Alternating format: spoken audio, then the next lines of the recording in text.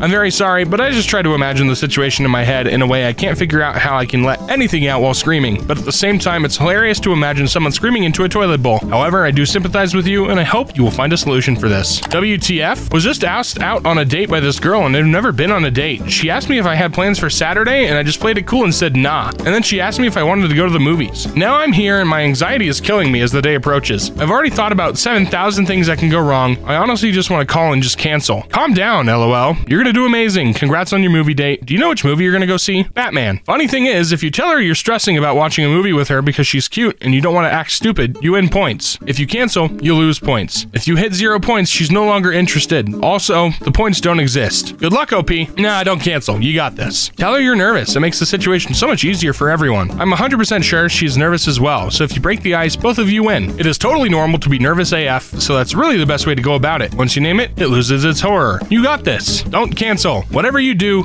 do not cancel. You can do this. Just found out my boyfriend got another girl pregnant, and you know what? I don't care. Sound like he's gonna be a dad. I'm just happy it ain't me. He got pregnant.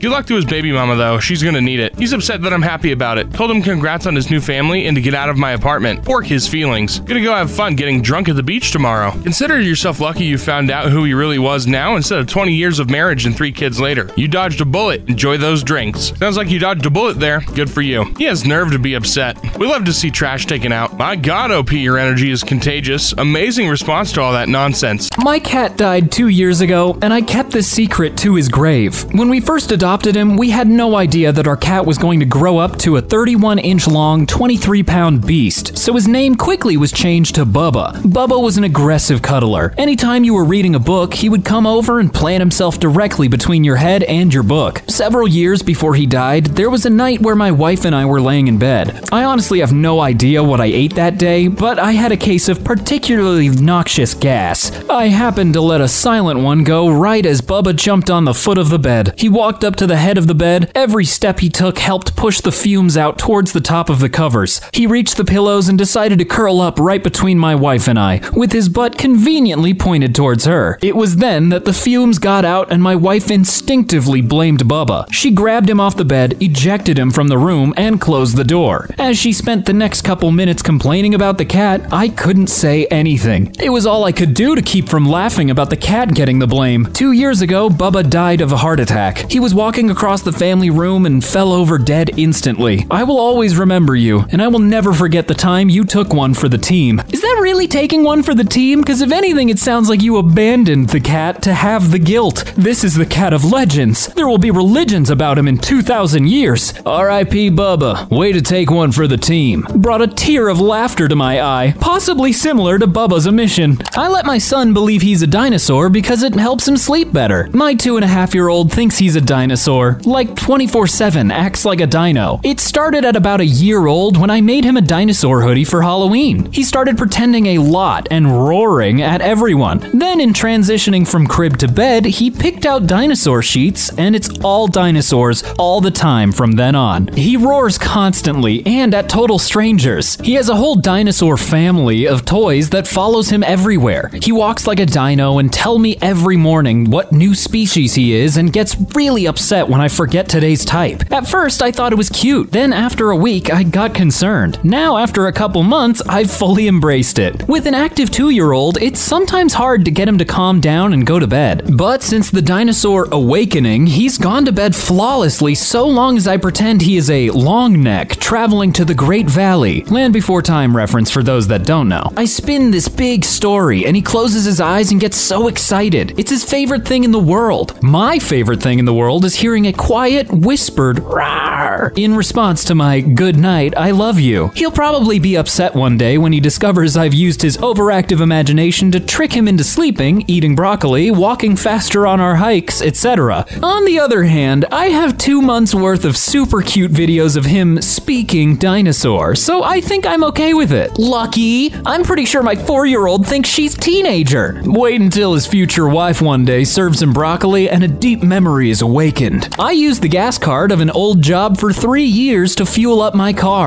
Some years ago, I spent a year or so between jobs. One of these was installing slash removing insulation from people's attics. It was a complete crap job, but my buddy got me in the door and it actually did pay well. I ended up being there maybe two months tops. We worked locations within a 100 mile radius of the company site, so one of our daily routines was to fuel the truck up on the way out of the shop at the trucker fuel stop around the corner. We worked in teams of either two or three on job sites, and all of the employees were given fuel cards, so there was never any excuse for why we would be in a situation where we couldn't get gas. A few weeks after quitting, I realized I had forgotten to give them the card back. Another few weeks after that, I was driving in the general location one weekend and just for shits and giggles, went to the fuel stop to see if the card still worked. What do you know? It did. I then decided I was gonna wait until the next time I needed gas, then go to that same stop to fuel up again. I figured if I only used that location like all the other employees do, it wouldn't raise much suspicion when the bill came. This went on for about three years until one day the card stopped working. I confessed to my buddy shortly after that what I had been doing. He told me that all the fuel cards were basically just copies of the same card on one account, so they had no way of distinguishing any one specific usage. Also, the shop went out of business, so that's why the card stopped working. You know, one could say that you're the cause of the business going out, but eh, also whatever. They gave you the card, they didn't shut it down. Who, who's to blame? Your fueling up all those years was what finally put them under. I personally knew a guy who did this, got busted, sued, and charged. Let's just hope that doesn't happen to our pal over there. Let's just let him get away with it, you know? Lied to get out of a school project and ended up stuck in therapy for a year. When I was a senior in high school, in the beginning of the school year, we had to do a project where we had to do a presentation and show how to do something step by step. I picked making chocolate chip cookies, so when I was going to present, I had to show a step by step on how to make them. So I had to bring in milk, eggs, bowls, etc. We had three weeks to plan for the project, but it was the day I had to present and I didn't prepare or bring anything. So as soon as I got to school, I went into my English class and told my teacher I didn't have anything because mom and dad got into a fight two nights before, and my dad kicked us out, and we've been living in a hotel. She said it was okay and that she would give me credit for my written part. The next week, I was in third period. I get called into the office. The school therapist was there and told me she wanted to talk to me. She asked me if everything was okay at home, and I didn't want to have to do my project and get caught lying,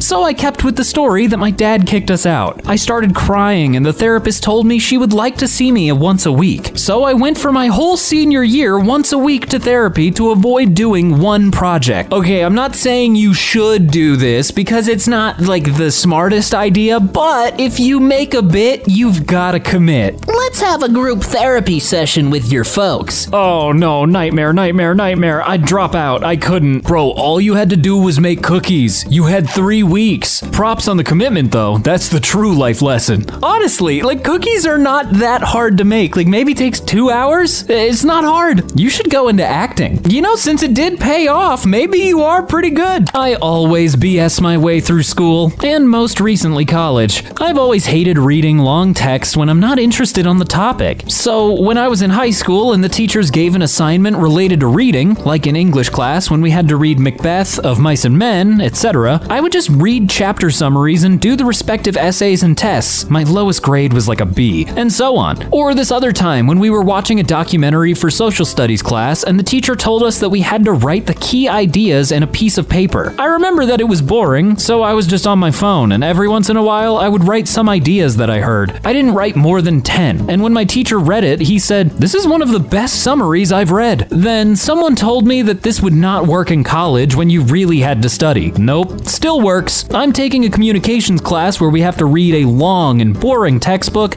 and write a one page summary in our own words. For this, I just Google the title of every chapter and get some ideas from different websites and write my summary. So far, I've earned A's in these summaries and another A in the first exam. Sometimes I regret it because I know I'm not really learning anything, but I believe studying shouldn't be the only thing you care for in life. So I'm not going to stress out about the classes I don't like, and that's not required for my degree. And I'm going to continue doing this for as long as I can. Once again, it's not the most advised tactic, but you know, if it works, it works. The only time this may be detrimental to you is when you start taking classes directly related to your major and are out of your intro classes. Otherwise, work smart, not hard. Well, you're taking a communications class. That's why it's still working. I did the same stuff in high school too, but now I'm in engineering and it really does not work. Just wait till you start work. That's where the real BS kicks in. In fifth grade, I pushed a girl in a monkey cage enclosure and ripped the skin of her arms off. I'm sorry, what? I attended an elementary school that is near to a small park where there were about 10 exotic animals like hawks, snakes, and monkeys. It's basically a small zoo. We usually wait there for our school service to arrive. We were just sitting around the birdcage like enclosure of this aggressive monkey that we're making fun of and waiting for the school service to arrive. When the school service arrived, we all stood up and raced to the school service front seat. I knew that I won't be first, so I pushed the girl who was in front of me. She tripped close to the cage. The monkey got startled and went crazy instantly. The monkey grabbed her arm and ripped her skin off in one bite. It is the gnarliest thing I ever saw. Her face turned pale white, I think because of the shock and loss of blood. We carry her out of the park while she and some of us were stained with blood. An old guy who is working in the park sees us and immediately carried her and called an ambulance. The day after that, the monkey is not in the park anymore, and we have a new school service driver. Oh my god, like I get it's an accident, but oh, that is the worst possible accident. Jesus. Yeah, Jesus is right. Monkeys are effing scary. I've never understood why some people find them cute. Full disclosure, I agree with this guy. I the monkeys freak me out. I don't like they I don't I don't understand why I, they freak me out, but they do. Harambe Jr. If anything, this monkey was way worse than Harambe because it actually ripped the skin off the little girl. I got drunk at work, stole cheesecake, and ended up passing out in the dressing room. So this happened a few years back. I worked for a high-end clothing store at a stock clerk slash order pole. One week they asked me if I would be willing to work the night shift from 8 p.m. to 4 a.m. These were very unusual hours, and it was me and two other coworkers required to stay. I had another job lined up at the time, so my commitment for the current one was not very strong to begin with. I decided I wanted to make my night a little more interesting, so before I work, I stopped and bought a bottle of whiskey, knowing that my boss would not be working and it would be very relaxed. I ended up drinking a lot more than I should have. I'm great at handling my alcohol, and my friends will tell me that I don't seem even slightly drunk, when on the inside I know exactly how drunk I am. So I pounded a bottle of whiskey in my car right before going in. About an hour and a half into my shift, I was stumbling and knocking stuff over. Luckily, none of my coworkers saw this. I started getting hungry, and I knew that on the third floor there was a little bakery slash restaurant that the store owns. I'm not sure why they don't lock the bakery up, but I thought it would be a good idea to go check it out. I ended up hopping over the counter and getting into all of their cheesecakes. I had about four slices of four different types of cheesecake, and I also helped myself to some Sprite. I was so happy, but I started to feel really tired after. I ended up going into one of the dressing rooms and completely passed out on one of the benches inside. I woke up about two and a half hours later with my name blaring over the loudspeaker. I thought for sure someone had seen me and reported me. I got to one of my coworkers and they were saying, Where were you? Where did you go? We've been looking all over for you. I told them I got sick and I was puking in the bathroom and needed to go home. No more questions were asked and I was sent home that night. Never ended up getting caught. You know, it's a little unfair when I see stories like this because I know that their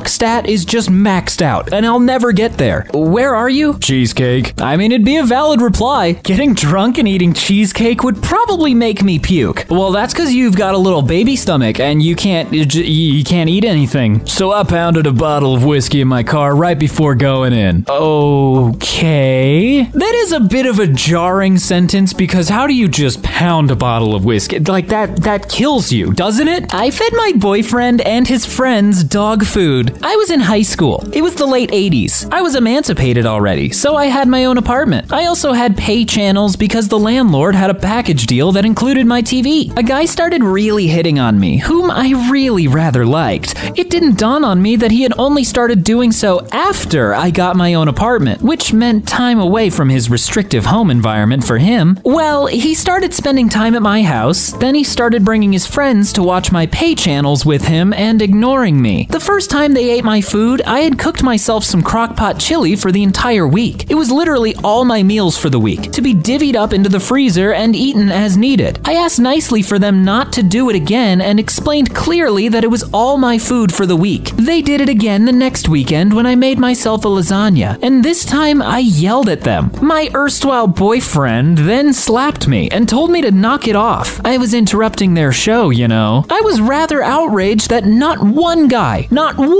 so much as batted an eye about it. Instead of breaking up with him immediately, though, I hatched a plot. I bought two cans of Alpo wet dog food and a bag of egg noodles. I made goulash with it in the crock pot and let them eat it. After that, I brought the landlord's dog up. I carefully let him lick each and every bowl, because of course, they didn't wash their dishes after they stole my food either. I placed them into the cabinet as nonchalantly as I could, pretending this was how I always did dishes. I then answered their question about what was the recipe of my delicious food and placed the two open cans of Alpo on the table. Needless to say, they never came back. I took great relish in spreading it around school that they not only ate literal dog food, but they loved it enough to want the recipe. God, the 80s are just, oh yikes, just hitting women? Yeah, I guess. I do think you should have just dropped him right then and there, but I do appreciate the scheming, really figuring out how to get back at him. A-holes deserved it, and I hope your boyfriend didn't hit you after you told him about the food. I would hope that that didn't happen, considering they didn't say it in their story. I'm hoping that's the case. Today I learned dog food is delicious. Well, you can only know that if you try it. Are you saying you tried dog food? What's wrong with you? Oh, how the tables turn. Realistically, she probably could have turned the tables by hitting him back, but also the 80s, I don't know if that would have worked out. Cop pulled me over and I called 911 and lied to get out of going to jail. When I was 19, I was running late to work in my tiny POS economy car and on fumes of gas. I didn't come to a complete stop on a right turn. Lights behind me, so I pull over. I know I've barely got any gas at all and was almost to a gas station, hence why I rolled through a stop a little, trying not to have the car die. At the time, around 1995, a new digital phone had come out called VoiceStream, now T-Mobile, and their whole big thing was the phones were digital and not cellular. They were the first phones with caller ID, and one of the big things the salesman had said over and over was since it was digital, the signal can't be triangulated or traced. Not that I cared, but it stuck in my mind. Well, as I give the cop my license, registration, and insurance card, I got an idea. I knew if I was late to work, I was going to lose my job. They were super strict there. So I get an idea, and right after I hand the papers to the cop and he's walking back to his cruiser, I called 911 and tell the operator I just saw a guy with what looked like a shotgun walk into a 7 Eleven that was about two blocks away. I confirmed the address, then I hung up. About 30 seconds later, the cop comes sprinting to my car and hands me all my stuff and rushed says, Come to a complete stop next time. Then peels off to the direction of the store. Pushed my car to the gas station that I'd almost made it to and felt pretty pleased with my ingenuity. Look, I'm not condoning this behavior, but if you're quick enough, you could probably do this. Nice work. I know a gentleman who called in bomb threats to the airport back in the late 70s because he was going to be late. All flights postponed or canceled. God, the 70s had to be crazy. I just casual bomb threats? Yeah, no biggie. My little cousin cracked my iPhone XS Max screen, made my aunt pay $329 knowing I have Apple Care and it only cost me $29. My little cousins are the biggest poops in the world and my aunt pretty much lets them do whatever they want without consequence. They were roughhousing and knocked my phone off the counter, shattering the screen. My closest Apple store is about two hours away and it's a huge inconvenience for me to drive there, not to mention the extra gas. So instead of explaining this to her, she's the kind of person who doesn't care about things that don't affect her directly. I told her it was $329 to fix, which is true if I didn't have Apple Care. She wrote me a check for $329 and I only had to pay $29 and I pocketed the extra 300. I consider that my non-disclosed inconvenience fee. I wish I had this level of scam quality because my lord, that's just such a perfect scam. I mean, it was still basically that much if you had to pay for Apple Care. They have a point. $300 was the fee for the emotional damage they caused you. I overcharged over 5,000 people. Back in high school, I used to work the concession stand. In my school, the booth was a little folding table where I would sell water, pop, and chips. To anyone that was a visiting team, I would charge 25 to 50 cents more on the item they wanted to buy, and I would keep it. I ended up making somewhere around $3,000 doing this for my high school career, and no one ever found out because I didn't charge anyone from the home team the same amount. While I don't fully agree with your business strategy, it did work out and you were in high school, so it's fine. Joke's over, buddy. Give me back my 50 cents. That's how the mafia works. The snack mafia. I cheated to get my bachelor's and my master's degree. Honestly, I feel like a lot of people do it, so let's see your reason. Yeah, I cheated. I didn't write any of my papers. I didn't do any of the work myself. I stole a lot of work, took only classes anyone I knew did, and used all their work for it with minor changes. I made it through six years and got two degrees. I got a scholarship out of high school by cheating. I cheated during the SAT. I cheated most of my life, and I feel a little bad, but not really. Thanks to a couple real ones for holding it down for me. Wouldn't have made it this far without you. Oh, so yeah, you just completely plagiarized. That's a little extreme, but if it worked, I guess. I had a friend in college mooch off me, and he had a better career afterwards. Now that one, that that one kind of hurts since they actually did the work and they're still not getting great jobs. What college did you go to? Please state your first and last name and date of birth. They just want to look up your academic records. They're not going to report you or anything. I gave a lactose intolerant customer dairy on purpose. I know this sounds weird, but when I worked at Starbucks, there was a regular customer that was very difficult and rude. I was warned of this customer on my first day of training. She came in every morning and would try to rush the workers on doing their job and makes other customers feel uncomfortable. Three months into working, she came in one morning and caused absolute hell. She was complaining about her drink while one of my coworkers was making the drink. As soon as she got it, she accidentally spills it and asks for a completely different drink. I was so fed up. She wanted a frappuccino. She went to the bathroom while we were making the new order.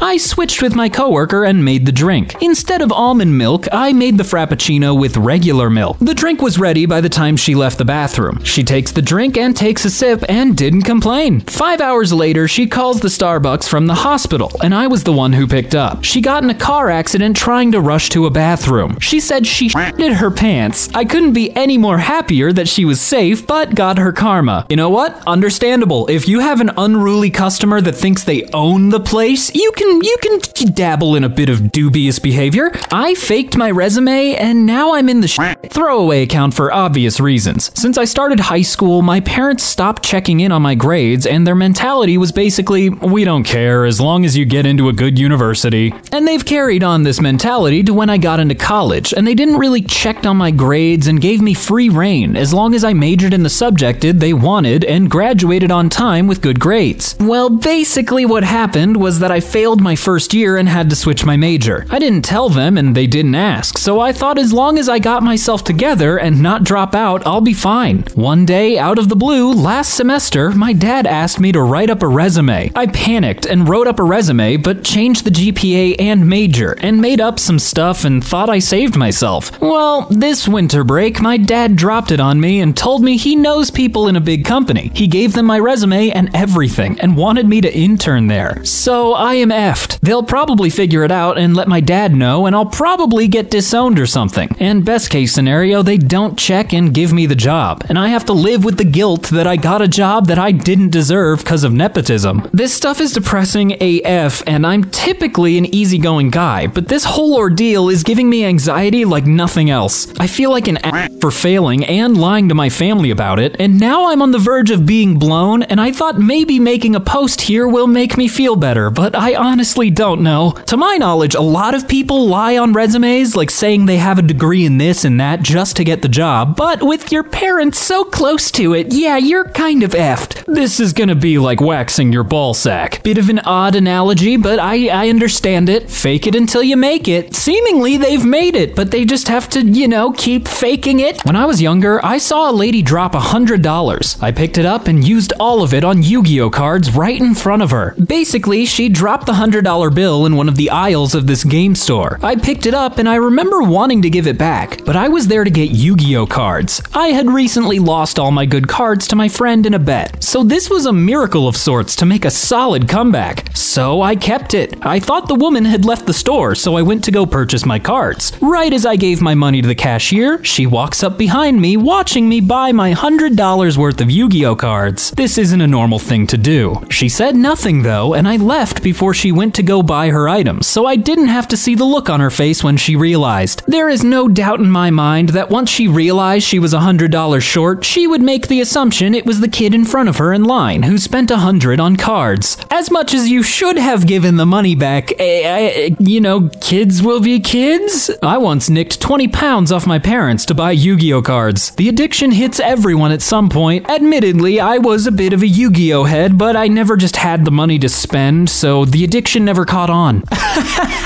the intense feeling when she was right behind you. Oh, it had to have been like a horror movie, like hearing a whole soundtrack, just feeling her eyes on the back of your head. This is why I joined this sub. I'm honestly surprised the lady didn't make a comment about your balls dragging on the floor. Well, uh, I, I know what you're saying, but if she did say that, she'd be in jail, so.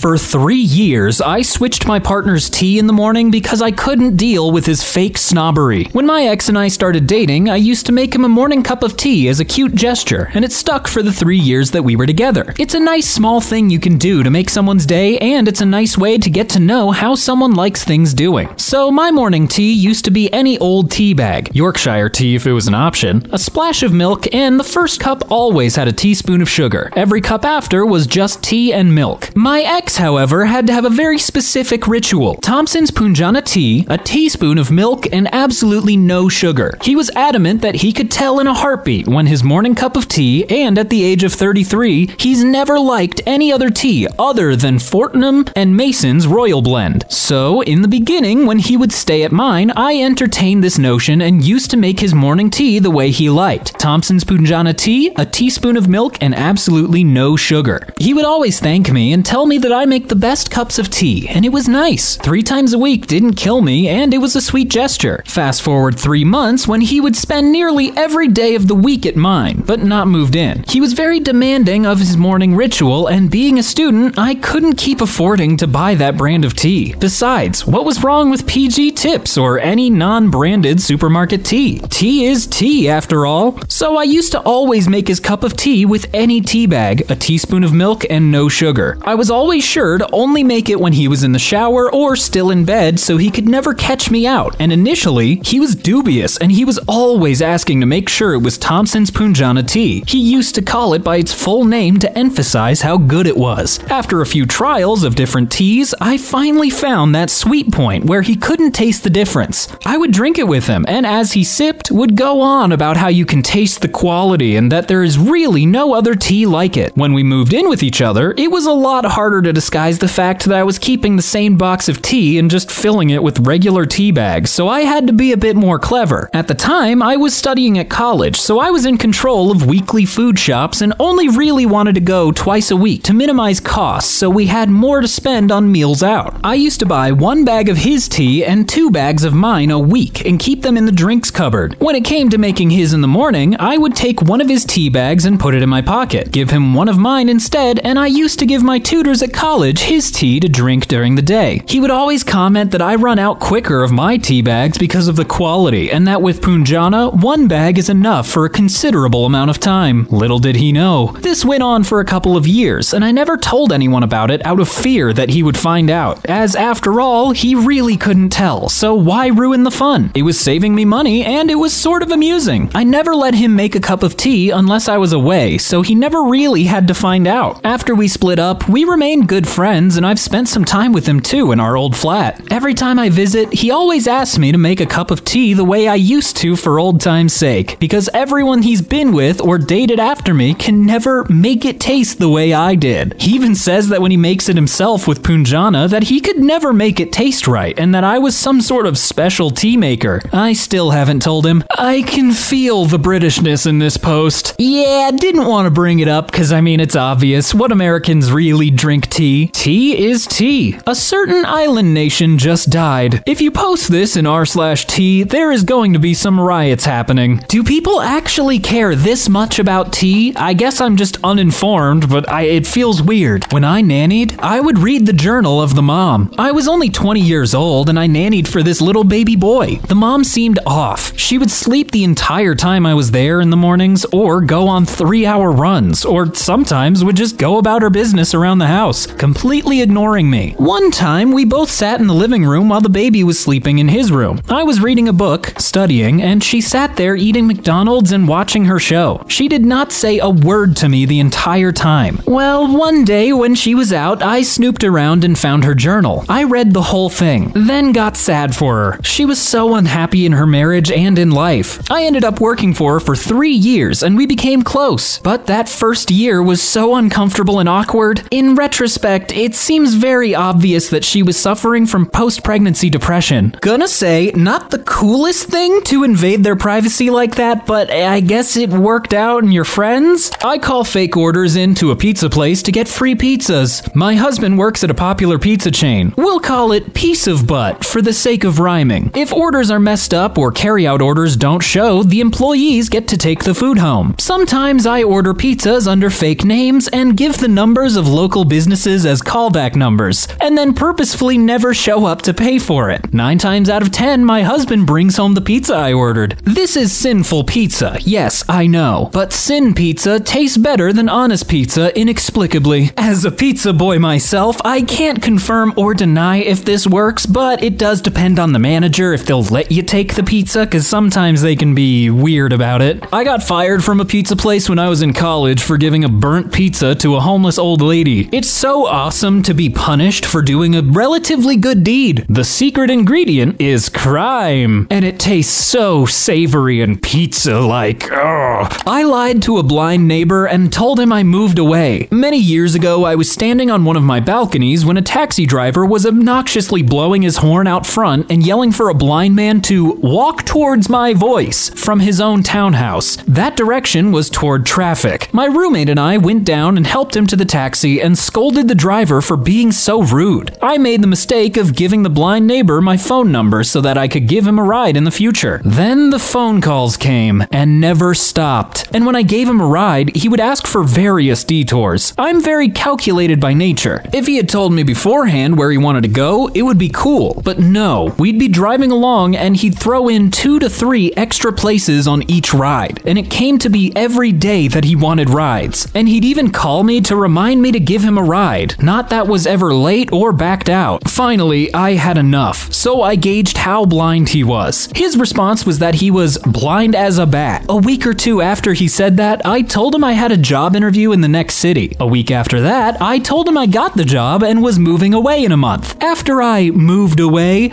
it was strange as hell walking by him in silence as he stood on the sidewalk. Kind of a morally gray situation, but I understand why you did it because seemingly the guy was taking advantage of your kindness. I bet he could smell you and knew. Okay, not all blind people are Daredevil, alright? I hope he doesn't see this post. Ah, we're just we're just getting the easy ones, huh? Plot twist, he isn't blind, but is going along with your lie to save face on his lie. While it is possible, it probably isn't. You know, I'm just glad everybody was able to get that off their chest. Indirectly broke a dryer at a laundromat, then gave a fake name and number to the owner. Last night was doing laundry at the local laundromat. I had three washers going at once. Now, normally you fill the wash, add detergent, add quarters, and select the cycle. When I press the cycle button normally, the previously selected cycle button pops out, kinda like a switch. I didn't notice it, but it happened with this washer. So the washer had two cycle buttons pressed. After half hour goes by and washer 1 and 2 are done, but washer 3 is still on the first part of the cycle. Now, it being 9 p.m. and with the placing closing at 10, I decided to take the unfinished soaking wet clothes and put them in the dryer. About 2 minutes into the dryer, the laundry attendant said I broke the dryer because of the wet clothes. She took my wet clothes and put it in a machine that just spins the clothes dry and then put them back in the dryer. She asked for my name and phone number, so I wrote down Trevor LaHaye and some random collection of 10 digits. Those of you who watch Trailer Park Boys will understand. So, as the last dryer is finishing, the owner comes in and asks me what happened. He couldn't believe that washer 3 didn't spin dry my clothes and was stuck in the same cycle for 1.5 hours until I had to physically show him how all the other washers work the same except for washer 3. He still even tried to spin it on me for breaking the dryer because I didn't tell the attendant about the washer. So, anyway, he grabbed the piece of paper with my fake name and number and said that he'll give me a call tomorrow, today, to see how much the dryer is gonna cost to be fixed or replaced. LOL. F off. I think that's what they call the cost of doing business. I can't believe they would try to make you pay. Scumbags. At least at the start, it kind of makes sense like, hey, you broke our dryer, please help us replace it. But after they found out that it's still kind of their fault, um, yeah, they don't get to ask you to pay for it. You broke the microwave by putting something too cold in it. You broke the fridge by putting warm leftovers in it. Yeah, how dare you put wet clothes in a clothes dryer? I entered a stranger's house to avoid a DUI. How are these people getting in other people's homes? I live in Australia. Not sure how it works in the rest of the world, but I was on my provisional driver's license as a teenager. We call them P plates. And when you are on that, you cannot have any alcohol in your blood whatsoever. I stayed at my mate's place one night and he had some beers to drink. I had two, knowing I had to drive the next day and was gonna stop, but he convinced me to have another, so I did. The next day, I got in my car to drive home, and as I was turning a corner, there was a couple police doing a RBT, random breath test, and I panicked. I knew full well I'd have a little bit of alcohol in me, and that's enough to lose my license for a couple months. I had just left school and gotten a really good job, and if I got a drink driving charge, I would have to rely on my parents to drive me there, which wouldn't work out as they both have jobs. I panicked and turned right onto another street. I drove halfway down the road thinking I had gotten away with it, but one of the cars suddenly turned around the corner and blasted the siren. I pulled over and the cop came to my window. Cop, can you explain to me why you just avoided an RBT? Instead of explaining to the cop why and just taking my punishment, I decided to lie. Me? I wasn't trying to avoid it. I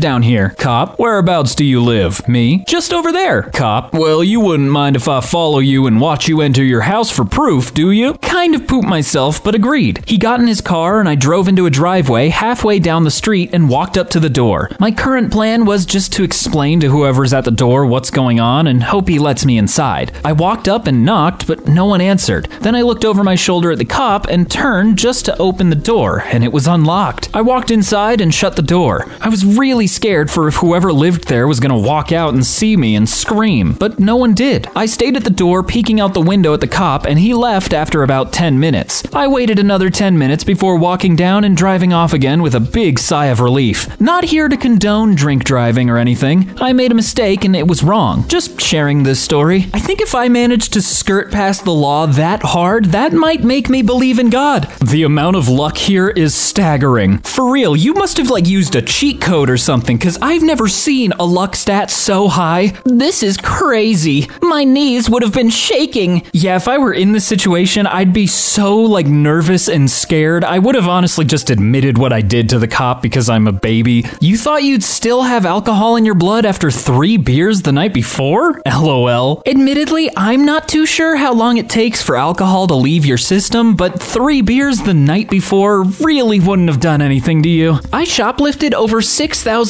worth of clothing in one stint. This was almost 10 years ago. I was a sales associate as a teen at a well known chain retail skate store. It was a cool job, but my store manager sucked. Just rude and aggressive all the time. Bullied the staff every day. I rocked it as a salesperson. I doubled my goals almost daily. Always at least met them. One day, the store manager got our numbers for the quarter. We were a little behind where we should have been, but there were also two new associates who weren't carrying their weight. Store manager blamed me for the numbers and accused me of giving discounts to people and allowing others to shoplift. I had never I had never done either of those things. I was livid. So, one night with a group of 4 friends or so, one of which used to work at the store with me, we came up with a plan to raid the place to give the store manager something to actually complain about. So, I went into my shift on a Sunday morning, knowing the assistant manager would be hung over. I convinced him to take a nap out back and that I wouldn't tell if he let me claim the sales for the day. He didn't care about anything, so it was an easy yes. Cue my friends coming in, acting as customers with their beach bags as I'm working with regular customers on the floor alone. A customer, friend, would bring their purchase to the counter to ring out and have the security tags removed and then immediately go into the changing room and bag it. Bring it to their car, wait 20 minutes, do it all over again. We all had lists of items we wanted, and I had mine piled on the counter ready to be taken. In one hour, we completed the list and my friends left. The assistant manager came back from his nap oblivious. I wrapped up my shift and went home. We divided up the clothing and celebrated. Never got caught. I put my notice in the next day, and that was that. Old friend from work told me when the next quarterly report came out, after I quit, the numbers were so bad from shrink, inventory of clothing missing with no money to show for it,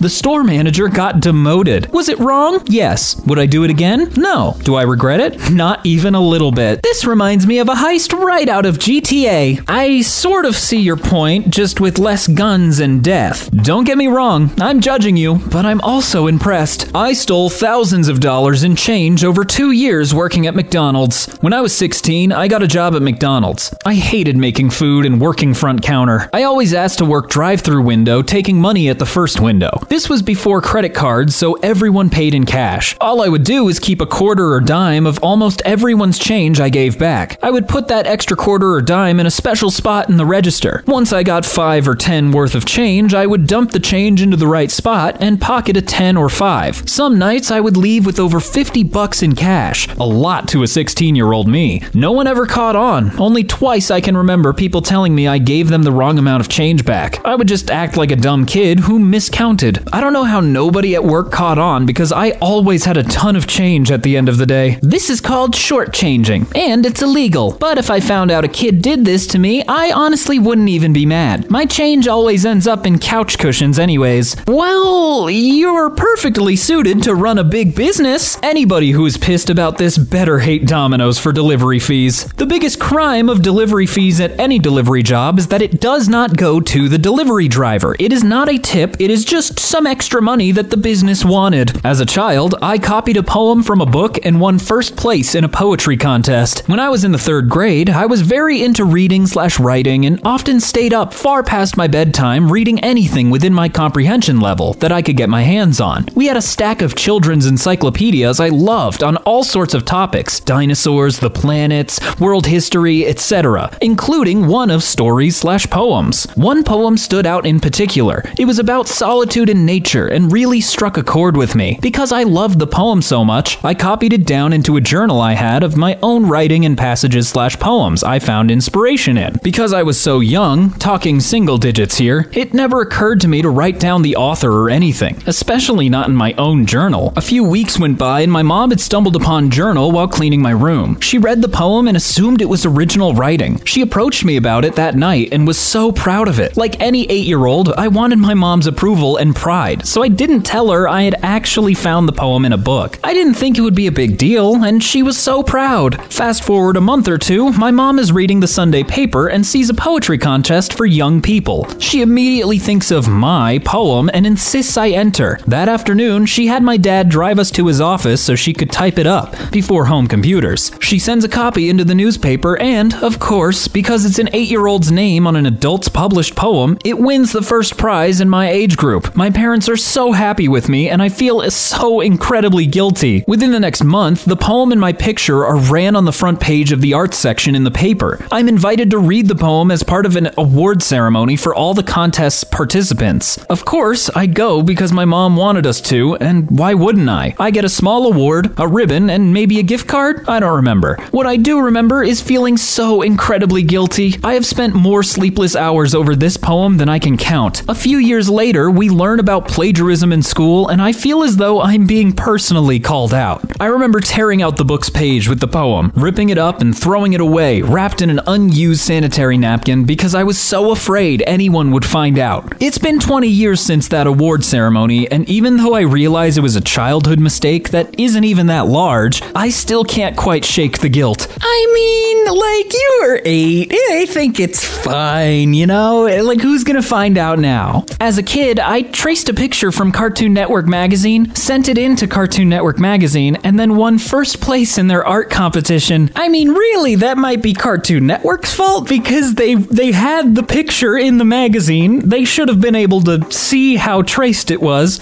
Well, these are the things that keep you up at night. I used to charge a kid a made-up fat tax. A long time ago, I was a high schooler at a boarding school. I was a decent kid in the eyes of the teachers and school administration. In fact, they liked me so much that throughout my time there, I was able to rise through the student ranks. I became a prefect, then I became the head boy, and at one point I had passed training that allowed me to run my own sports sessions or event where I was supervising younger and even a few older kids. This was just basic training for first aid, situational awareness, etc. At one point, the school had so much trust in me that I was allowed to leave the school premises alone in the afternoons. This was huge, and very few students had this privilege. In typical fashion, as soon as I received the privilege, I began abusing my power as a free man. The school was very adamant on getting us balanced meals, so we weren't allowed to get food delivered. All delivery vehicles were refused entrance. Having the privilege of leaving the premises meant that I didn't have to order junk food and risk getting caught. I could simply go out to any fast food joint and bring food back with me. It all started out as an exclusive club. Myself and my friends were munching on McDonald's and KFC as the plebeians were having the filthy, healthy cafeteria food. Then I was offered something I couldn't refuse money. Not long after, I had built a whole operation for bootlegging junk food into the school. We had cutoff times for orders, a priority list for regular customers, extra fees for late orders, and even a spreadsheet for keeping a record of orders, payments, and profits. This smuggling was next level. We were organized, knew all the fire exits, where to walk to avoid corridor cameras, and how to pack the food so that it's unnoticeable when walking in. Mostly used sports bags with a thin layer of clothes. The teachers knew something was going on. There was food wrappers everywhere, but no one knew how it came in. Business was booming, and I was making profits of $50 a day for three to four days a week, but it wasn't enough. I was hungry for more. There was a fat kid that ordered regularly, so I pulled the most a hole move you could do to your best customer. I started charging two times the price for his orders, and I would hide behind a BS moral barrier claiming we were doing this for his own good. Since we learned in economics that increased prices reduce demand, and so he would be eating less and he would lose weight. The kid saw straight through the BS, but in the end, he couldn't resist it and continued ordering from me. Mahmoud D, if you are reading this, I'm sorry. Alright, so when is the Netflix series coming out? Because this is juicy. Abusing your powers and making a profit, so I guess you became a successful politician? Prefects and head boys exist outside of Hogwarts? I know, I know it's hard to believe, but Britain is a real place. This is the guy you go to when you want a heist planned out. For real, I honestly can't believe that you actually did like spreadsheets to track your profits, like you're actually doing business. I leave fake parking tickets on cars that deserve real ones. I ordered a batch of them off Amazon and leave them wherever. Sometimes, if nobody is around, I make an effort and fill in all the details on it to freak them out before they get to the bottom and see it's a fake. Sometimes I just write something dumb in the comments and leave the rest blank. I've left them on cars at my university that aren't technically illegally parked,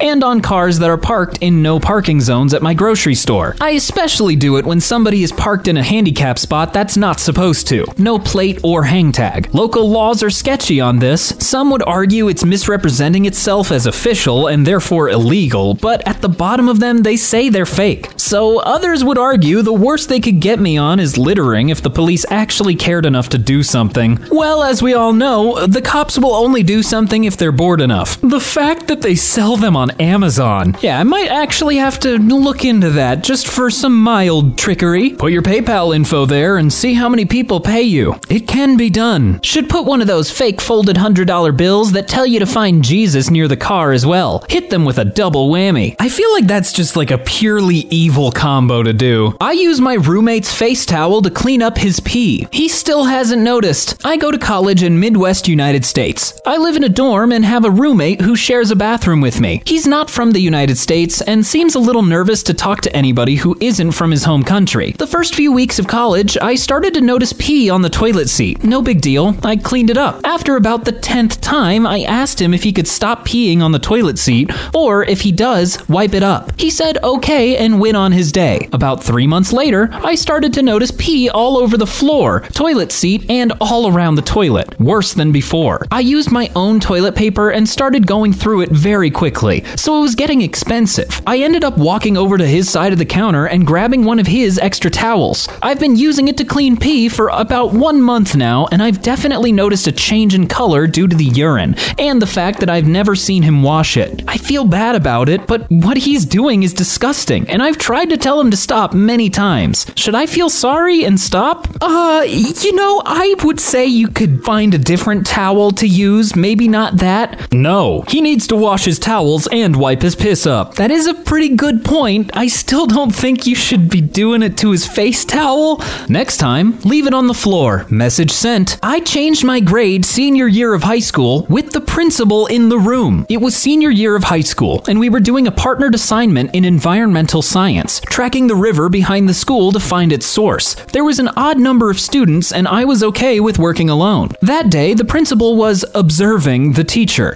evaluating her performance. My teacher trusted me and gave me her laptop to do the assignment, and asked if I would show the principal what we were doing. I agreed and quickly finished my assignment. The principal and teacher were standing by the door chatting, so I opened the PowerSchool app. There it is, all my friends' grades, including mine, staring at me in an Excel style format. I noticed copious amounts of zeros by my name, dragging my grade down somewhere in the low 70s. I was a minimal effort high schooler. I quickly changed most of the zeros to 70s or 60s. This way it wouldn't look too suspicious. My heart was racing as I saved the updated grades and didn't tell anyone for a few years, including my best friend slash brother. I never got caught, and I still grin thinking about it six years later. I mean, your teacher practically gave you the golden ticket. Uh, They should have logged out of it if they were giving you their laptop. It ain't much, but it's not honest, lol. Part of your education is learning how to navigate the system, weighing the consequences, and taking opportunities when they present themselves. You didn't harm anyone else by boosting your points, but he ain't a real friend for not changing his friends' grades, too.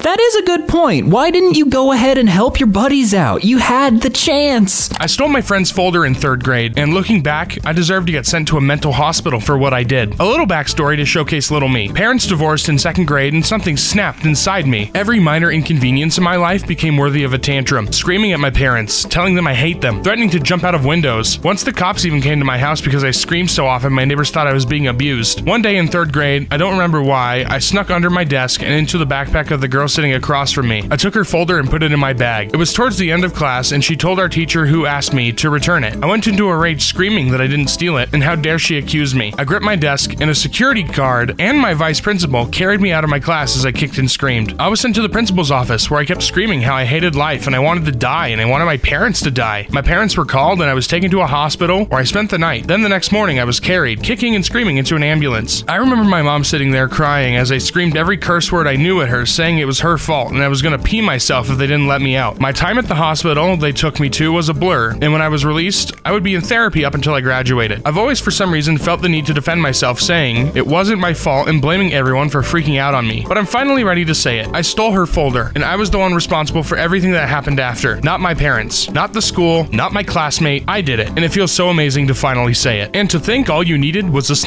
That's right, you're not you when you're hungry. I plagiarized my entire dissertation, and I got caught. It just felt too big, too nebulous. I had no idea where to start, and I kept putting it off and putting it off again, with no idea of what to do. I could have asked for help, but I didn't. How pathetic, I thought. thought. Every other student can manage to write one, but you need help? Just put your head down and do it. But I didn't. With 24 hours to go, I had nothing. So I found a dissertation on Google, and I went through and changed it enough that I thought I could get away with it. I didn't. I have a hearing in a few days, and I can't see any likely outcome other than being kicked out with no degree. I haven't told anybody besides a nice woman on the phone from Samaritans because I didn't know who else to call. She didn't seem to know what to say though, and I can't blame her. What is there to say? You frickin' idiot. How did you not ask anyone for help at any stage? Why are you the only person who can't frickin' write their own dissertation? I'm so ashamed. So, so ashamed. I can't tell my friends. Students have fun at university, but I feel as though there is an unspoken contract that everyone can do so because they're all working hard. I've broken my contract and I cannot admit it. This shame pales in comparison to the shame I feel regarding my parents. I'm dreading telling them more than anything. They have been nothing but supportive my entire life. They are wonderful people. They've given me so much help, sacrificed so much for me to get a good education, and I've spat in their faces. I am ashamed to be their son. Wow.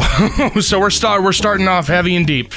Oh man. Ah, live and learn, I guess, buddy. Sorry. I intentionally ask women well above the legal age limit alcohol to show me their ID. I work as a cashier at a grocery store. Whenever a middle-aged woman who clearly looks older than 21 purchases alcohol from me, I intentionally ask them to show me their ID. I do this because somewhere deep down, I feel that if I ask them for their ID, it creates an impression that they look far younger than they are. I do this every chance I get, regardless of how busy the line is, in hopes of making them feel younger and possibly happier. I used to ID old ladies who requested the senior discount. They loved it. Every time I have to ID people, they always get pissed off and annoyed. I once told an elderly woman, Have a nice day, young lady, and she went and told the manager, and I was written up. Well, you gotta be subtle about it, man. you can't just say young lady, because then she kind of feels like you're kind of, you know, you're, you're taunting her, you're messing with her. But you, you just gotta be subtle about it. I stole my dad's car at night to lose my virginity to a chick I had never met. Hi, I'm 20 now, but this happened when I was barely 16. I met this girl on Hot or Not who said she wanted to have her way with me. So I was like, dope, I'm gonna get some good strange for my first time. I decided to meet up with her on a Friday night. I waited for my parents to go to sleep, then snuck out my window with my dad's keys and stole his car to meet this girl I'd never met IRL. I called her on my parents' house phone right before I sneak out to make sure she knows I'm coming over. They took my cell phone at night. So I get there, and guess what? She's not there. I drive back to the McDonald's down the road from her place and call using the phone number I had written on my handwritten Google Maps directions. Again, had no cell. She tells me she will be home in 30 minutes, so I waited out. I go there around 12:30 a.m. and she's waiting for me on the porch. I walk up and I was like, ah, shoot, she's a lot less attractive than in her pics. But I'm already here and went through this much stuff to get here, so frick it, why not? We do the thing while on the floor, and two days later, I got ringworm on my cheek. I also neglected to tell her I was a virgin till I was done smashing. Haven't told anyone except my close guy friends that story. That's a story he will tell his grandson, laughing his ass off, laughing his ringworm off. A typical young man following his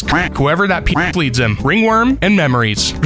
ringworm and memories is just such a, a nice tagline. I took a dump on my neighbor's doorstep. So back when I was 10, my dad asked me if I wanted to make $20. I accepted. The catch, I had to poop on our neighbor's doorstep. It was clear my dad had beef with this woman. She woke in the morning and tried to blame our chihuahua. My dad yelled at her, saying that poop was bigger than our dog. Impossible. Point is, I don't feel bad. Forever daddy's girl. An even better trick is pooping in a bag, lighting it on fire, ring the doorbell, and leave. Wait, girls can poop? Hate to tell you guys.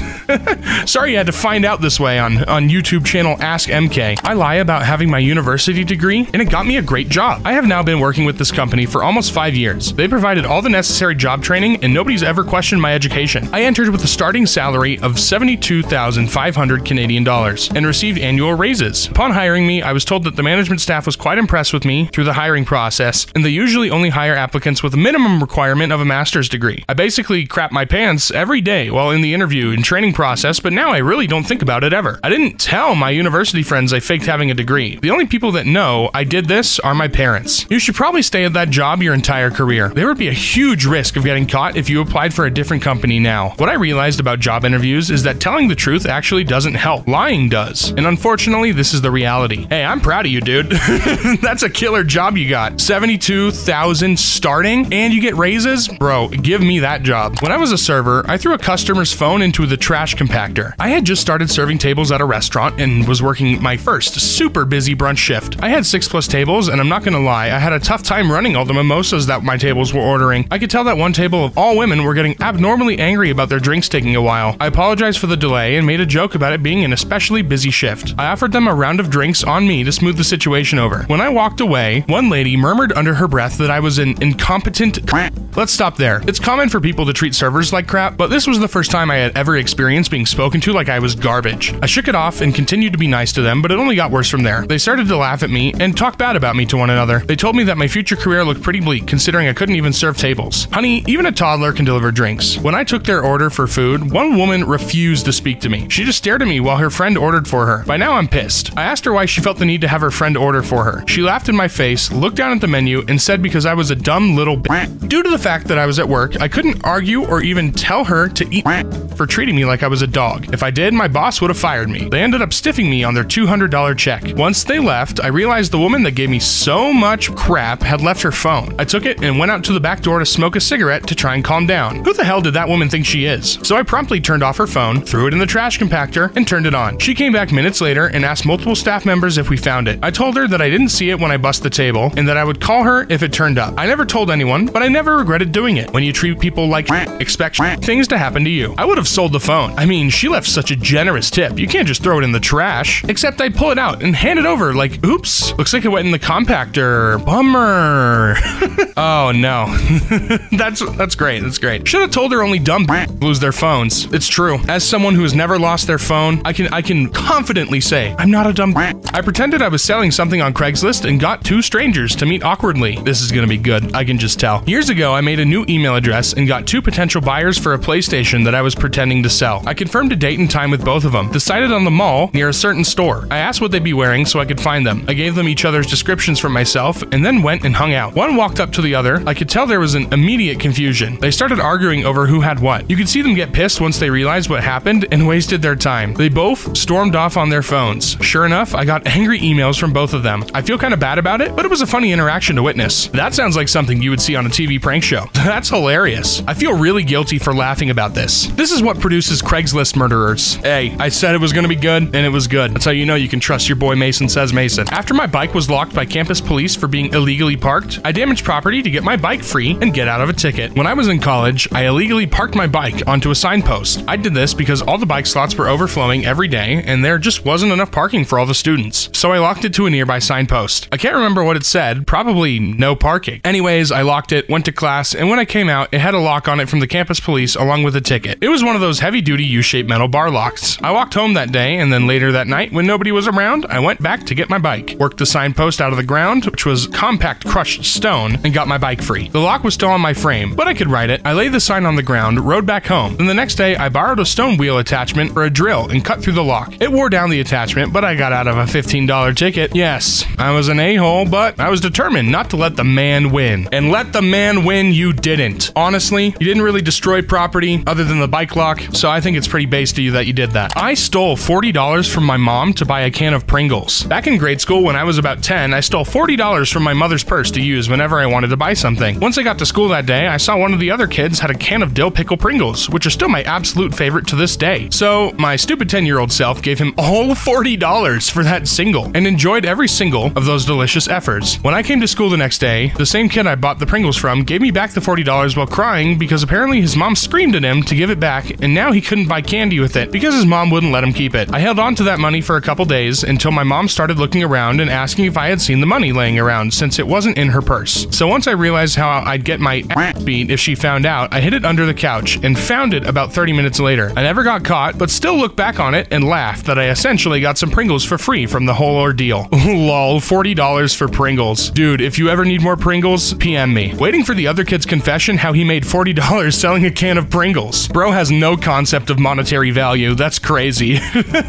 My husband is the moderator for a few different subreddits, and he genuinely thinks it's a job. My husband refuses to look for a job, even though I think it would be good for him, and we could use the additional income. But he just says he's got too much on his plate already. That being monitoring these stupid subreddits.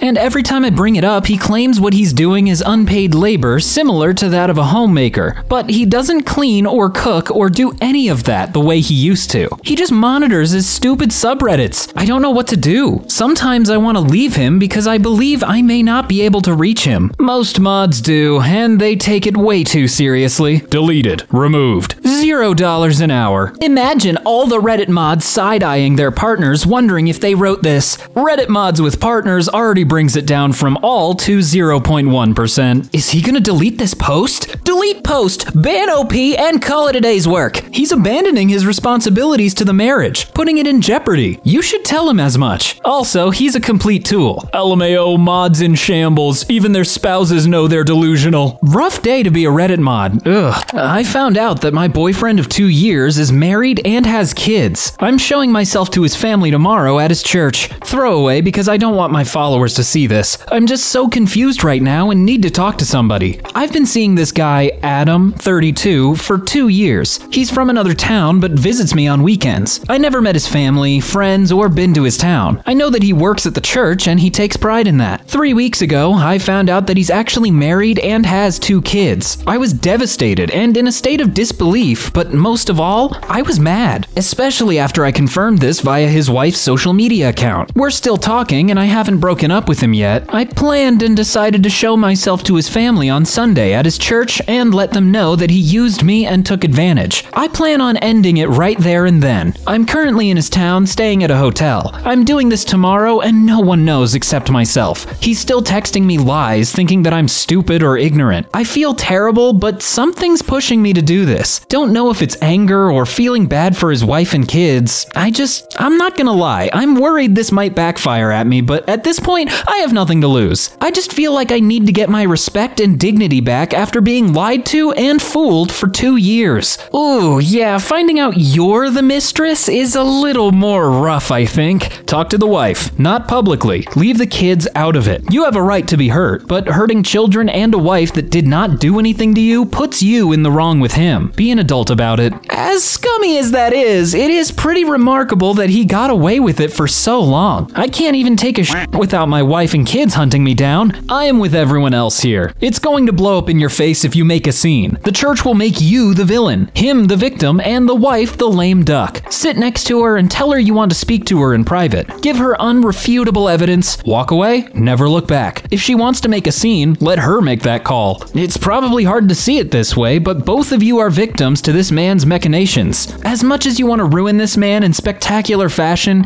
it's not her fault he did this. Please be considerate. I'm sorry, but how do you stay with someone for two years and not meet any of his friends, family, been to his town, or his house? I'm not attacking you, I'm just saying you didn't think it's a little strange? That is somewhat of a red flag, to be sure. I hired a male sex worker for two hours just to hug me and hold me, and I gave him flashcards of what to say to me. Wait, did I write this? I'm a 22 year old female. I'm introverted. I have one boyfriend who cheated on me eight months ago, and since then found it incredibly difficult to socialize. Not that many people made an effort. I'm simple. I don't have social media. I have a few friends, but they don't really speak to me much. I'm average looking, pretty insecure since my breakup. I'm in college and on weekends work a 12 hour shift at a fast food restaurant to make ends meet. I don't know, I felt really lonely, so I knew of a guy who works with me who told me his friend is doing sex work. I found him on Facebook and he told me how much he charged. Also asked me a bunch of questions about my sexual health. I never planned on sleeping with him, I just didn't want him to find me weird. Anyway, we met at a hotel. I told him I didn't want to have sex, I just wanted to be held and given words of affirmation and care. He agreed and I paid him. I gave him flashcards. They all said things like, I'm proud of you, you're doing so well, you're strong, did you eat? Are you okay?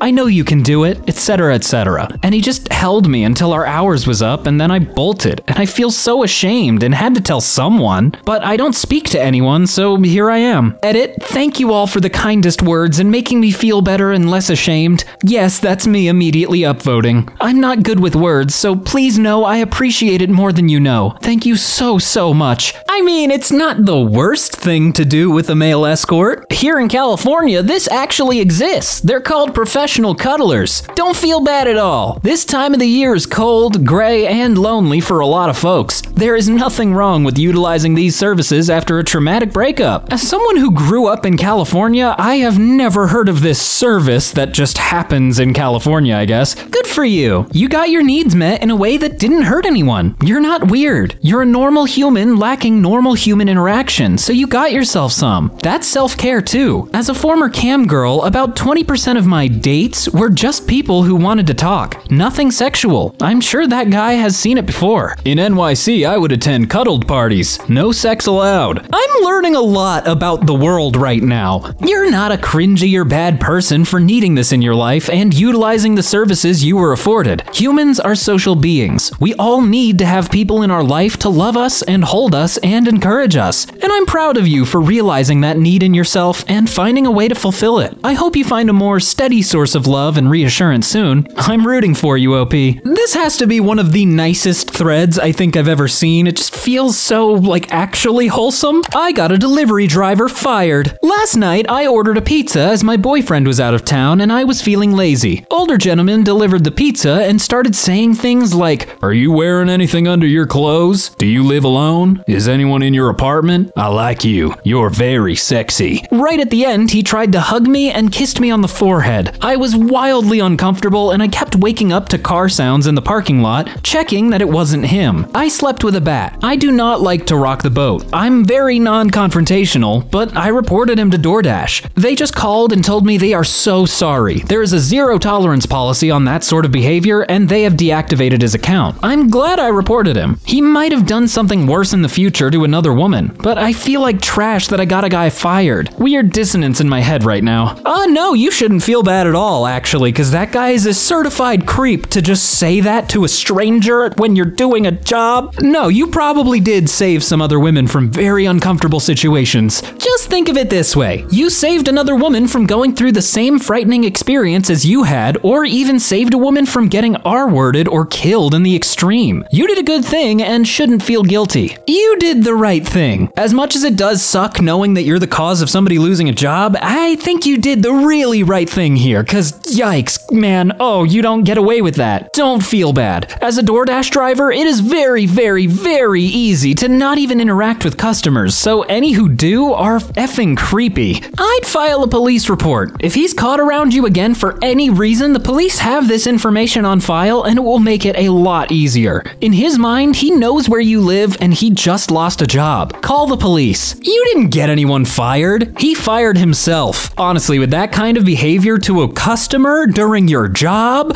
you did get yourself fired. There's no excuse. I'm a chef and I've been living a lie about the quality and authenticity of my food. I'm a personal chef for an upper class family in the US with a multi million dollar house who go on many vacations every year. They claim they miss authentic European and Asian food after living abroad for several years. When I first started cooking for them, I made elaborate dishes that took hours to make, finding the exact ingredients, examining each piece of carrot, potato, or chicken by hand, finding the right brands, and going to multiple grocery stores to find the exact Pinot Noir to make the perfect red wine sauce. They didn't like it. I once messed up a dish and had to remake it really quickly, so I took a few shortcuts to make sure it was still tasty. A normally 12 hour dish I made a quick version of in less than 30 minutes using vinegar instead of red wine. They said it was the tastiest thing they ever ate. It reminded them of the times they were traveling through some European mountains. Since then, I've realized I don't need to spend hours making all the food perfectly authentic. I stopped using expensive brands of wine. Sometimes I don't even use wine at all. Grape juice or vinegar or even sugar seems to taste just as good, if not better to them. I've saved tens of thousands of dollars and probably thousands of hours getting cheaper ingredients that have already been brined or marinated, and they absolutely love it. They even had me prepare large meals for parties or events, and they'd claim it was authentic French or Italian food. They'd ask me what combination of flour I used to make the pasta that was so clearly handmade. It was 99 cent boxed pasta from Walmart. Or it was clear I used a very particular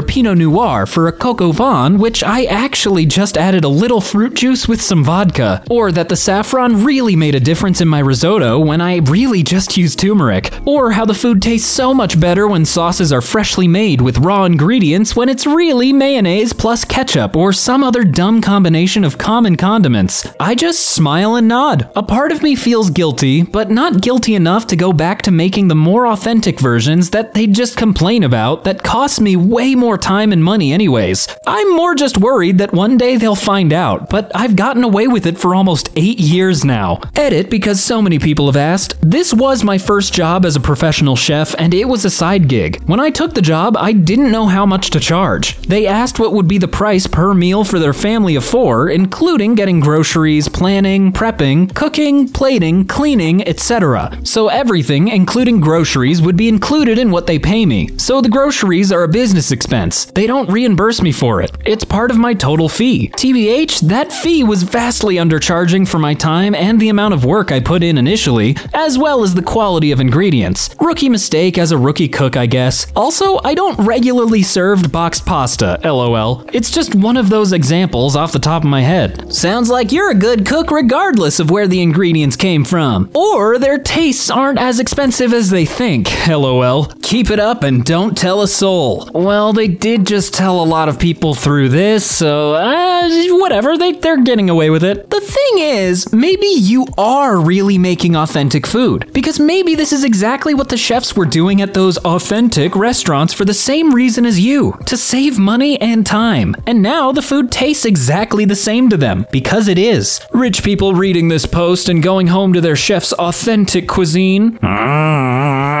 Yet rich people all over the world see this and now they're worried that their chef isn't actually making authentic food. Wealthy people can be strange. I worked in a house where the chef cooked up a pound of bacon, sliced a couple of perfect beefsteak tomatoes, and brought it all upstairs to the lady of the house. She chooses the three slices of bacon and tomato that she wants on her BLT, and the rest goes in the trash every day. You see, this is why rich people don't deserve anything. I think my dad might have killed someone when I was a kid. One night, when I, 36 female, was about 8 or 9 years old, mid 90s, my father took my little brother and I to Blockbuster to pick out movies. We left there, and my dad stopped at a corner store for some snacks and he parked on the side of the building. He left me and my brother in the car while he ran in. On his way out, a man came up behind him and held something to his side. My dad pretended he was going to hand the man his wallet, but he instead elbowed the man in his face and he fell to the ground. The guy got up and came at my dad with a knife, and my dad fought it away from him and stabbed him with it. It was long, and that went all the way in. The guy let out this horrible groan. I can still hear it. He left the guy on the floor writhing, hopped in the car, and took off. For so many years, I thought this was a dream until my little brother mentioned it to me when asking if I remembered. We've never brought this up to my father, ever. I've always wondered what happened to that guy, but this was way before cell phones and stuff, so who knows? It's crazy the weight that comes off someone when they say things they've always been holding in. Oh, yeah, uh, yeah, that sounds like. I mean, it's not murder necessarily, but it's not good. Sounds like your dad made a decision that he was going home with his kids that night and his wallet. Sounds like he was justified in doing it. Weird he didn't call it in since he was a victim and it was self defense. Undocumented immigrant from Antigua, an island in the Caribbean. I'm assuming he didn't want to risk deportation. Yeah, you know, that seems fair enough to not call the police in that circumstance. Your other option was possibly watching your own father get killed in front of your eyes. So, as far as outcomes go, I would objectively say you got the better of the two options. Yeah, I mean, it's both bad outcomes, but at least yours was better? But did you make it to Blockbuster? What movie did you get? Wow, great question. I got Mrs. Doubtfire and my little brother got Free Willy. Blockbuster was the first stop. If I have to jump through 80 hoops just to apply, then still make it through three interviews, the least you can do is give me a courtesy call saying I didn't get the job. Man, even an automated email would be better. How do they expect us to show loyalty if we're literally just bits of machinery to them? Oh my god, I feel this so hard. Oh, that's oh, it's so hard. It is unbelievably ridiculous how companies can just get away with like stringing you along and never have to tell you if you didn't actually get it. So by that point, you're already homeless. True. When I was a manager in retail for several years, anyone that applied, I followed up with because my boss explained that everyone who applied was also a customer, and that's a relationship you don't want to break. Dear hiring manager, thank you for your rejection. Unfortunately, due to the sheer number of rejections I have received, I am unable to accept yours. I will see you on the coming Monday. Sincerely, me. If you've interviewed for a position and they don't call to tell you you've been unsuccessful, that's pretty rude. You've taken time out of your day to speak to them. A 30 second courtesy call is the least you could expect. A bit of information about where you missed out would be ideal. On the other hand, if you've just submitted an application, don't expect to hear back. Job ads attract so many applicants these days, it's just not possible to reply to everyone. While I understand that it's like, you know, too many applicants to really get back to everyone, uh, it's ridiculous to say that nobody wants to work anymore when we have people that want to work, you just refuse to let them at a certain point. Sorry, I'm not mad, I'm just mad. Uh, most HR people I have met are sociopaths. There are notable exceptions, but most in HR are people who like to boss over other people without much knowledge or responsibility. Just ignore them. You won't work for them. I slept with my girlfriend's mom two years ago. I can't tell her because I know she'll dump me and it'll probably end her parents' marriage. Dog, what are you talking about? So let me first just say, I'm not the one who's in the wrong for this, but I have to say it somewhere. It's eating me alive. Two years ago, when I was 19, I met this woman while I was working as a personal trainer. She was in her 40s and looked like a 25 year old. She took an interest in me and invited me out a number of times, and we had sex a few times. After one of our meetups, she said it was wrong for someone of her age to be with me because I was too young and changed gyms. My girlfriend and I had been together for just under a year. She's amazing, and I love her so much. Two months ago, I met her family for the first time, and it was a shock. Like, she took me to the house where I had hooked up with a woman, and I felt like I was being pranked. Before I see her mom, it hits me. I have a type, and they both fit that type, so it makes sense. I've been hooking up with a single mom, and I'm now with her daughter. Then her mom and dad pop out, and we both almost crap ourselves. I met her parents. They've been married for 20 years. I realized I had been a married woman's boy toy. I feel incredibly ashamed. Later that week, her mom finds my number and tells me that I can never speak of what happened. She says that my girlfriend will hate me forever because I'll be the one who broke up her parents. So now I'm stuck keeping this secret. She invited me to spend Thanksgiving with her family, and since my family is a thousand miles away and I already told her I don't plan on going home, I don't really have an excuse to not go. So now I'm going to have to sit there at a table and enjoy Thanksgiving dinner with the woman I had an affair with, her husband, and her daughter, whom I am now in love with. I'm effed. They've got a type too. Hmm, seems like it really runs in the family. I'll see myself out. This sounds like an 80s movie. I realized I've been a married woman's boy toy. Definitely some inner monologue an 80s movie character would say. Damn, the mother is certainly projecting and deflecting her guilt into you. Not your fault, my dude. The guilt isn't yours to shoulder. What movie did this happen in? The plot sounds pretty good. The Graduate. I think OP got the story from an old copy of Penthouse. Admittedly, this story does feel like too scripted to be true. I would want to know if I was your GF. And her mom busted up her own marriage because she had an affair. She's just trying to shift the blame to you. You know, you kinda have a point there. You motherfucker.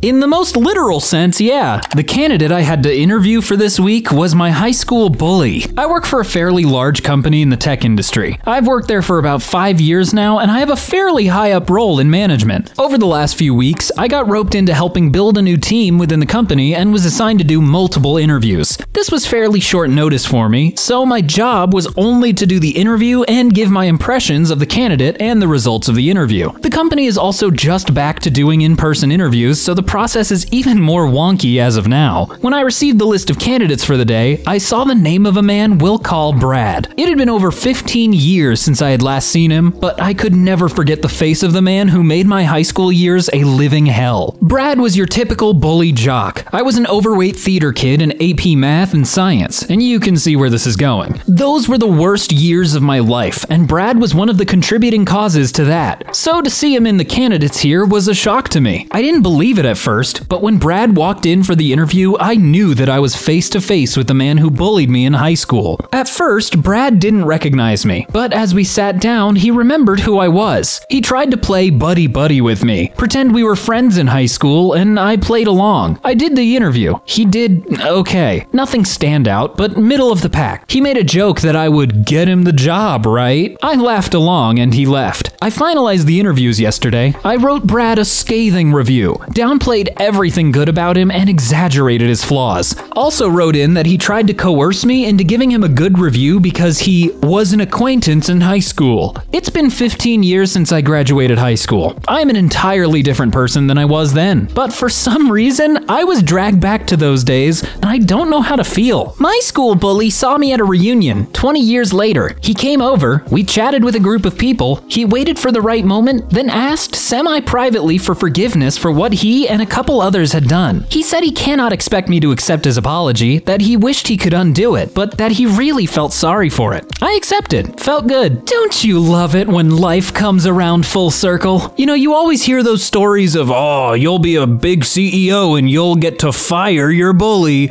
I never thought I'd actually see a story like that. Don't beat yourself up or feel bad about this. Had Brad changed, he wouldn't have tried to pretend like you were buddies. He wouldn't have made the nudge about you getting him the job. He would have acknowledged the obvious discomfort, apologized for his past actions, and asked you to consider his application. He did the opposite of that. He is still toxic, and you absolutely did the right thing keeping him out of your work environment, not only for your own well being, but for the well being of your coworkers. Yeah, screw that, Brad! I would have done the same. If he were a changed person worthy of respect and hiring, he would have been straightforward. Wow, imagine this. Obviously, fate has given me an opportunity to make amends. I'm so sorry for how awful I was to you. I wouldn't blame you for ending this interview right now, but I need to let you know that I'm not that person anymore, and I'm truly sorry for how I treated you. But he didn't. He tried to hide from it and minimize it. He's a coward at best. You don't want him working for you and the company. As a firefighter who responds to all sorts of incidents, can I just say, at an accident, either help or get out of the way. Don't just stand there filming with your phone. That person is going through the worst day of their life. Have some respect. I couldn't agree with you more. WTF is up with people whose first thought is,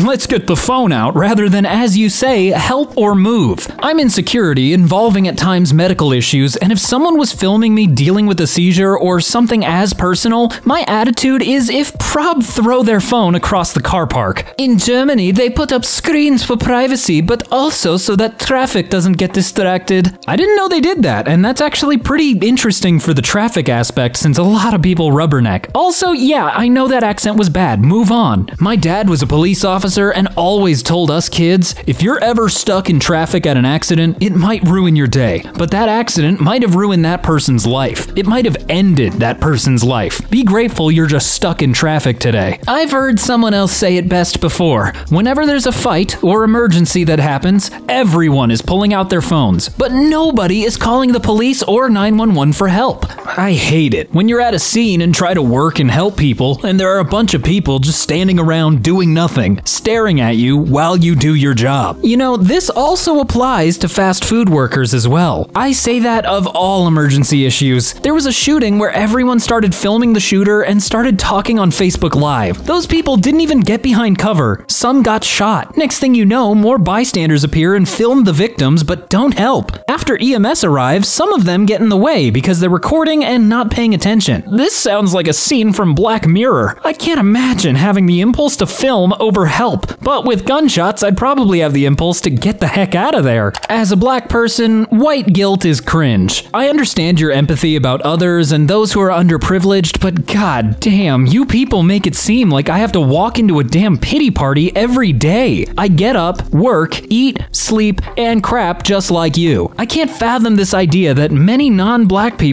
have it in their heads that they should feel sorry for us all the time. Like it feels like whatever accomplishment I make, you have to make it seem as if I need some extra attention. Like I'm the kid at show and tell who needs a forced hand clap. I don't want to be seen as underprivileged, but I want to be seen as your equal. When I see all these white celebs give up their jobs because they feel sorry, it just makes me angry. No, you earned your job just like I will earn mine. It's virtue signaling at this, and TBH, it's infuriating. Edit, didn't know this was going to blow up. Let's clarify that I'm talking about white and non black people who go on pity parties for black people without warrant, i.e., going out of their way to signal that blacks are underprivileged and will never be looked at by them as their equal. There's a difference from being upset about issues and trying to virtue signal that you're a good white person. Black people don't want to be seen like we can't do it for ourselves. I should say most of us, because there are some who still have a mentality they can't do anything. It's extra cringe when a parent takes a picture of their kid with a black kid and is like, My kid don't see color, proud parent. Comments like, Raise them right. The f- so embarrassing for the innocent children. I think most people should know that black people aren't a hive mind collective. White people aren't either. When someone is being a jerk to you, they are being the a hole.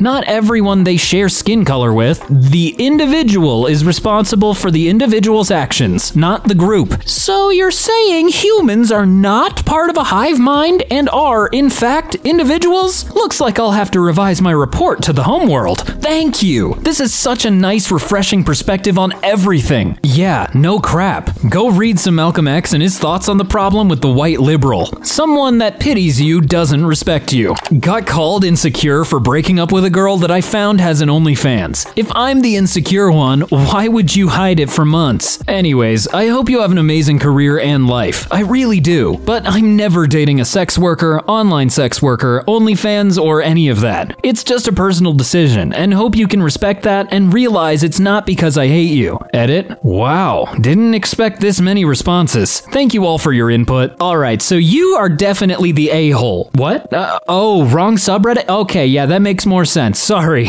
I think the bigger problem here isn't whether or not you want to date a sex worker. That's your own preference. It's the fact that she hid it from you. Obviously, she's entitled to do whatever she wants with her body and her time. But when you enter a relationship, that's something that should be disclosed. The fact she didn't is not okay. Nothing wrong with your decision, OP. You aren't insecure. Edit. People really out here trying to say not wanting to share your significant other, visually or otherwise, makes you insecure. It's really just the term share in that sentence that kind of puts me on edge. Like, what are you talking about? Sharing. You set a boundary and stuck by it. Good for you for not letting her walk all over you. Was she walking all over you by having an OnlyFans? I don't understand some of this perspective here. Just as having an OnlyFans is a choice. Not wanting to be someone who has an OnlyFans is also a choice. Insecurity exists when either side does things to bring it up, like have an OnlyFans and keep it secret. Playing online games as a woman is exhausting. Men treat women like we aren't even human beings, and even worse on the internet. They scream at the top of their lungs,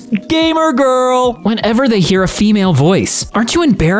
You should be ashamed. It's not fun to play a lot of games as a woman where it requires to speak because men ruin the fun by being pieces of crap. What goes through a male's head thinking it's okay to treat others like that? Not all men. Well, guess what? It's a massive amount of them. Even speaking and simply saying hi can change the way you get treated once they find out you're a girl slash woman. Then you get called slurs and stupid stuff. Go outside and take a class on how to talk to people. A man invited me to his party in a game and was being friendly to me, but the rest of his group was calling him a simp for showing me basic human decency. If you get offended by reading this post, then you're part of the problem. Showing basic decency is the bare minimum, and we don't even get that on the internet. A lot of men need to grow the fuck up and stop being rude a-holes. Unfortunately, being a stinky Valorant player, I understand what she's talking about completely. The second a woman speaks in chat, the most rizless losers you'll ever meet come out of the woodwork. It seems playing co-op games makes people act nicer. I was playing Deep Rock Galactic the other night and there was a girl on mic. No one said anything about it and we all just played well. She complimented me on my score, had slightly more gunner kills than her engineer, which usually engineer gets more if they're really good, after the mission was done and that was nice. I hate dealing with guys that make it a big deal one way or another. Just play and have fun. I avoid using my mic at all costs when playing randoms because of this.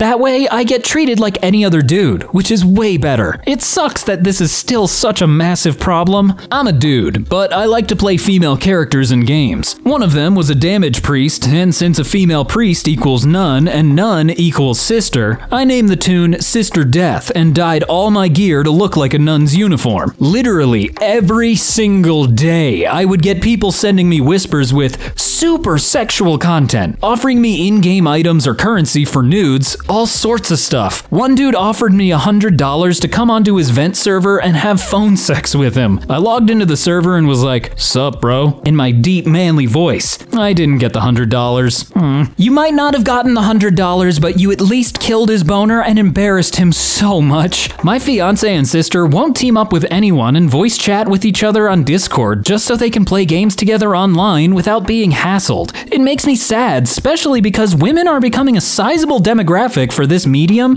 and yet every time people hear one playing, they freak out. It's actually quite pathetic. I use a voice changing mic. I say the bare minimum and then I am done. First time I hear name calling like that, I dump their worthless asses. They are trash and know it. Message to all gamers out there knock it off, maybe? I don't know, just be nice and normal. The fact that women's legs are naturally hairy is such a mind frick to me. My dislike of hairy legs on a woman feels so natural to me, but it isn't. It's a socially imposed preference, and if I had been born any time before the the 1900s, women would all be walking around with hairy legs and men wouldn't give a crap because it would be normal. It's hard for me to believe my preference for hairless legs is a social construct because it doesn't feel that way, even though it is. It makes me wonder what other aspects of myself that I believe are inherent are actually not. What an interesting thought. I'm gonna do the same. A few minutes ago, I was thinking about how in shows and movies, when you have characters stranded for a period of time, men are often shown to have more facial hair, but I don't think I ever seen more body hair on a woman in that scenario. It's like it's not even something that's considered. I love that hair on women's legs is making you question all of socially constructed reality. Yeah, my brother being disgusted with me wearing shorts around the house with unshaven legs while he has a thick brown full on fur on his legs is insane. Not hating on you, OP. I just agree that it's pretty insane if you think about it. Glad you're starting to realize. Wait until you find out women also fart. I only poop with my legs crossed because it's more feminine. Slash S. I threw eggs from the 16th floor of my apartment to maintain peace and quiet. I used to live on the 16th floor of an apartment building. There was a pub on the ground floor, and people would often congregate late at night in the street in front of the pub entrance. This was a hindrance to residents because we would wake up at 1 or 2 in the morning to drunk people talking outside. My apartment had two balconies on two sides of the building, so I often looked down on people grouping together on both sides of the building. I got fed up with it and decided to drop an egg where a group of people were chatting. They immediately dispersed, and I could enjoy my sleep again. I did this on another occasion, and again it worked. I started buying more eggs, and it became a habit that I practiced for about six months. No one had a clue it was me, and I even went to the pub and overheard people chatting about eggs being dropped from balconies in the building. Needless to say, I used to maintain peace and quiet by dropping eggs from my balconies. I have nearly gotten water dumped on me outside a bar underneath some apartments. Let's hope it was just water. That would be lol. I moved into an apartment above a bar, then was annoyed it was loud. When the police won't enforce late night noise ordinances, the Eggman restores law and order. I tried to miscarry my baby and hurt her permanently. When I was 15, I got myself pregnant unintentionally. I was a very promiscuous, horny teenager and wasn't exactly safe about it. Sometimes I used condoms, sometimes I didn't. I got really worried when I started experiencing the usual symptoms of morning headaches and nausea and skipped my period. So I took a pregnancy test, and what I feared was true. I was pregnant. I had no idea how to react to this. For one, I was utterly terrified and I wanted to get rid of it. In a way, it felt parasitic, the thing inside me with the power to frick up my life. I have a very Christian parents who would have disowned me for having an abortion, but I knew they would actually love to raise this kid. However, I hated the idea. I had problems with eating at the time and didn't want to gain the pregnancy weight, and I just didn't want a child. I guess I'm making excuses even now. I started a smoking habit very promptly since I heard in science lessons that one of the effects of smoking can be miscarriage. I barely ate at all, and if I did, I threw it up in hopes of starving it as if I was trying to get rid of a fever. It didn't work. I gave birth to her far too early, and as a result, she is blind. I gave her away and haven't heard from her since. She's eight by now. My parents were surprisingly supportive, and I got the help I needed for my eating disorder, and I still go to regular therapy. I just had to get it off my chest. And this is why we need better sex ed, along with easy access to contraceptives and an undeniable right to choose. And this is why we need safe abortions. This is an excellent example of why you shouldn't be so strict on your kids that they feel that they can't come to you with anything. I guess I am my brother's keeper. I used to watch over my little brother, who at the time we didn't know had Asperger's, when he was at school. Kids would always pick on him when he came home with bruises. I ditched school, I was in high school and he was in middle school, and snuck onto campus during recess and lunchtime, but always stayed a ways away. I saw some little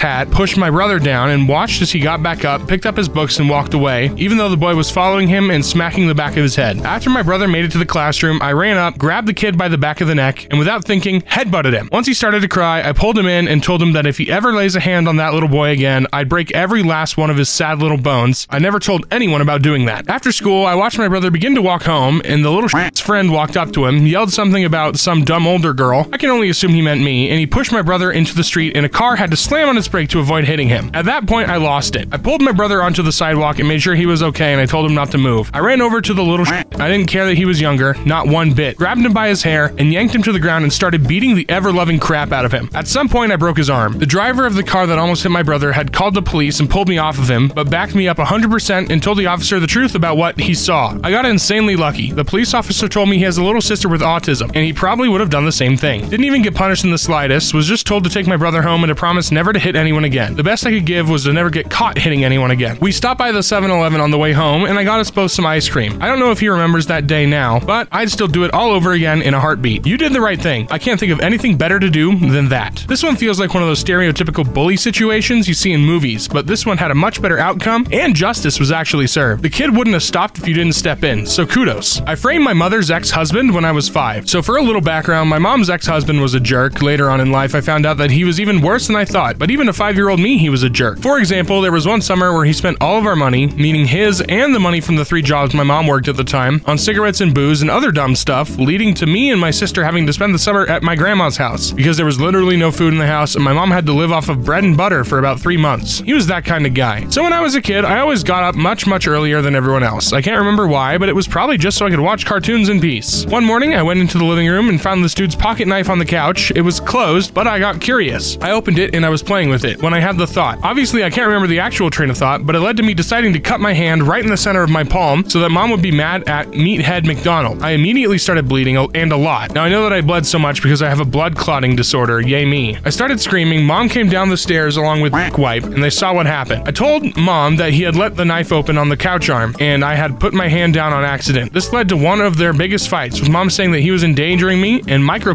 saying he swore he didn't leave it open. So yeah, I still have that lovely scar in the middle of my hand to remind me that I was more of an evil genius when I was a child than I ever will be again. Fun. I love how in every paragraph you have a different name for him. Your hatred for this man is so great, you have to make a new name for every time. Poetic. He did leave a knife out where a five year old could get it. This did endanger you. You single handedly, sorry about the pun, won your mother's custody over you when you were five and before the divorce even started. You evil mastermind. Bro is a genius at five. Bro knows what's good. I used to eat my coworker's apple chips at work, then tell him I was allergic to apples so he wouldn't accuse me. Well, this guy just seems kind of like a jerk. Just to be clear, this wasn't because I was particularly hungry, it's because my coworker was an absolute a hole. He was really creepy towards the girls in the office. Immediately, I take back what I just said about him being a jerk. Good for them. and always said some pretty weirdly racist stuff to our other coworker who was from Mexico. He was just a crude, horribly annoying person who seemingly took enjoyment out of making everyone around him uncomfortable. He was like a mix of Todd Packer from The Office and Tony Soprano. He always brought these apple chips into work to eat for lunch, and occasionally I would go in, take the apple chips, and go to the nearby park and eat them for lunch. He would go around asking if anyone took the chips and would act all pissed off because he knew someone took them. Instead of just flat out telling him I'm allergic to apples, I put on a little show. He was eating his chips two days before, and I started to take them. And I asked if I could have one, and I took one and almost took a bite, and then he said, These aren't apple flavored, are they? And he said they were, and then I quickly put it back on the plate and went to go wash my hands because I said I was allergic. Much more believable than me just flat out telling him. This went on for about two months, and I must have taken his chips like 10 times or so. 2000 IQ. You're living in 3019. You deserve a round of applause. Hey, you know what? I said that you were being a jerk. I lied. I apologize. That guy who's being weird to girls and racist deserves to have his apple chips eaten, at the very least. I took a dump in a mason jar and left it in my friend's pantry. About 13 years ago, my 19 year old self was partying at a friend's house, and there was a good 20 to 25 people packed inside this 1,000 square foot house. I had been drinking Mike's Hard Lemonade and tampon blender benders all night long. Full disclosure, I have an allergy involving certain alcohols that can cause severe hives, swollen throat, and intense diarrhea. I was 19 and stupid. Anyways, I was chatting with my gal pal at the time and felt the inevitable groan on my stomach. Ah, crap, I thought, figuratively and literally. I asked where the bathroom was, and she pointed down the hall. I squeezed myself through the teenage crowd only to find a ridiculously long line of women waiting to use the toilet. My bowels were screaming. The cramps were intensifying. I recalled seeing a toilet closet in the basement of the house once before and decided to take my chances. I darted down the stairs, all while puckering my pooper with all the strength in me. It was dark, so I flipped the light switch and saw the porcelain throne glowing in the corner of the room. I slammed the door behind me and shoved my pants down around my ankles. I make a swift penguin waddle over to the toilet. To my surprise, the toilet isn't connected to the plumbing, it's just sitting in the corner of the room. A failed attempt at a bathroom remodel. I put myself in a perilous poo position with no escape. People saw me come down here, and there's no way I could go poo in the toilet and get away with it. But now, my ass was on fire and I could barely hold it much longer. I panicked. I scanned the room and noticed an open mason jar filled with potpourri with a lid lying beside it on a shelf. My mind was weighed up. I snatched the mason jar from the shelf and promptly dumped the potpourri into the empty toilet bowl. Ever so carefully, I placed the mason jar on the floor of the bathroom and popped a squat over it, spreading my cheeks, and with surgical precision, shat my brains out in the jar. I filled that sucker to the brim. I released the crack into size and never felt such relief before in my life. But what now? What do I do now? I can't leave it here. I hear my friends calling me from upstairs that they were wanting to leave. I needed an escape plan now. Quickly, I pulled up my pants. Wiping was not an option, but I'd pinched off like 99% of my crap, so it was clean enough, and I placed the lid on the mason jar. It was warm, so warm. Still unsure of what to do next. I had the jar under my hoodie and exit the bathroom as if nothing happened. What were you doing down there? My friend asked. Just freshening up, I said in absolute horror that she may notice my mason jar smuggling. Hurry up, we're all in the kitchen waiting to leave, she barks. I swim through the crowd of people to the kitchen to meet my friends. They're all crowded around the pantry door, which was next to the garage. You are, they holler as they open the door to the garage. Here's my chance. The door to the garage was blocking the visual to the pantry. I did it. I slid the smuggled poop jar out from under my sweater and placed it next to the identical jars in the pantry and promptly left. To this day, I wonder, I wonder with so much wonderment that I wonder how I've never been caught. Did they ever locate this jar and open it? Was it assumed beef stew? Was it tasted? Uh, I'm good. Smelled, tossed. I regret this, but I was desperate. This is my profession. Somewhere at some time on Reddit, someone is sharing the discovery of that poop jar. I hope these stories will find their way to to each other. That jar might have exploded, especially if it got hot outside. Poop creates methane gas, and you might have poop bombed their pantry. I knowingly stuck a booger to my boss's hand and let a customer get blamed for it. A few years ago, I was a salesman for a tool company, and as I'm sure you all know, salespeople shake hands all the time when closing a deal. One day on my lunch break, I was sitting in my car eating a salad, and for some reason, I felt like a hard, dried snot stuck in my nostril. So obviously, I didn't think anybody was around or watching me, so I went and dug for gold. Well, as soon as I pulled the giant flaky booger with a snail trail of slime on it, my boss, who had just got back from vacation, and bops the hood of my car and reaches in for a handshake. I kind of panicked and just shook his hand. We talked for a few about his vacation, and then he saw somebody walk into the showroom, so he went in the building. I finished up lunch and headed back into work. I punch back in and hear from the showroom, What the frick? And then I hear gagging and coughing. My boss is holding his hand away like it's a dirty diaper. He's dry heaving and he says, That guy just wiped a frickin' booger on me. And I look across the room and see this old guy standing there in total disbelief, and he let my boss have it. He's telling my boss that he's never coming back, told him to stop picking his nose like a window licker, and a few other colorful sentences. My boss kicks him out. While this whole thing is going down, all I can think to myself is, Holy crap, I got away with it. I just drove by my old work and thought about that time and figured it was time to confess. This is quality content right here. That's it, you're going to hell. Hope you packed your bags, lol. You might think this is a good confession, but it's snot.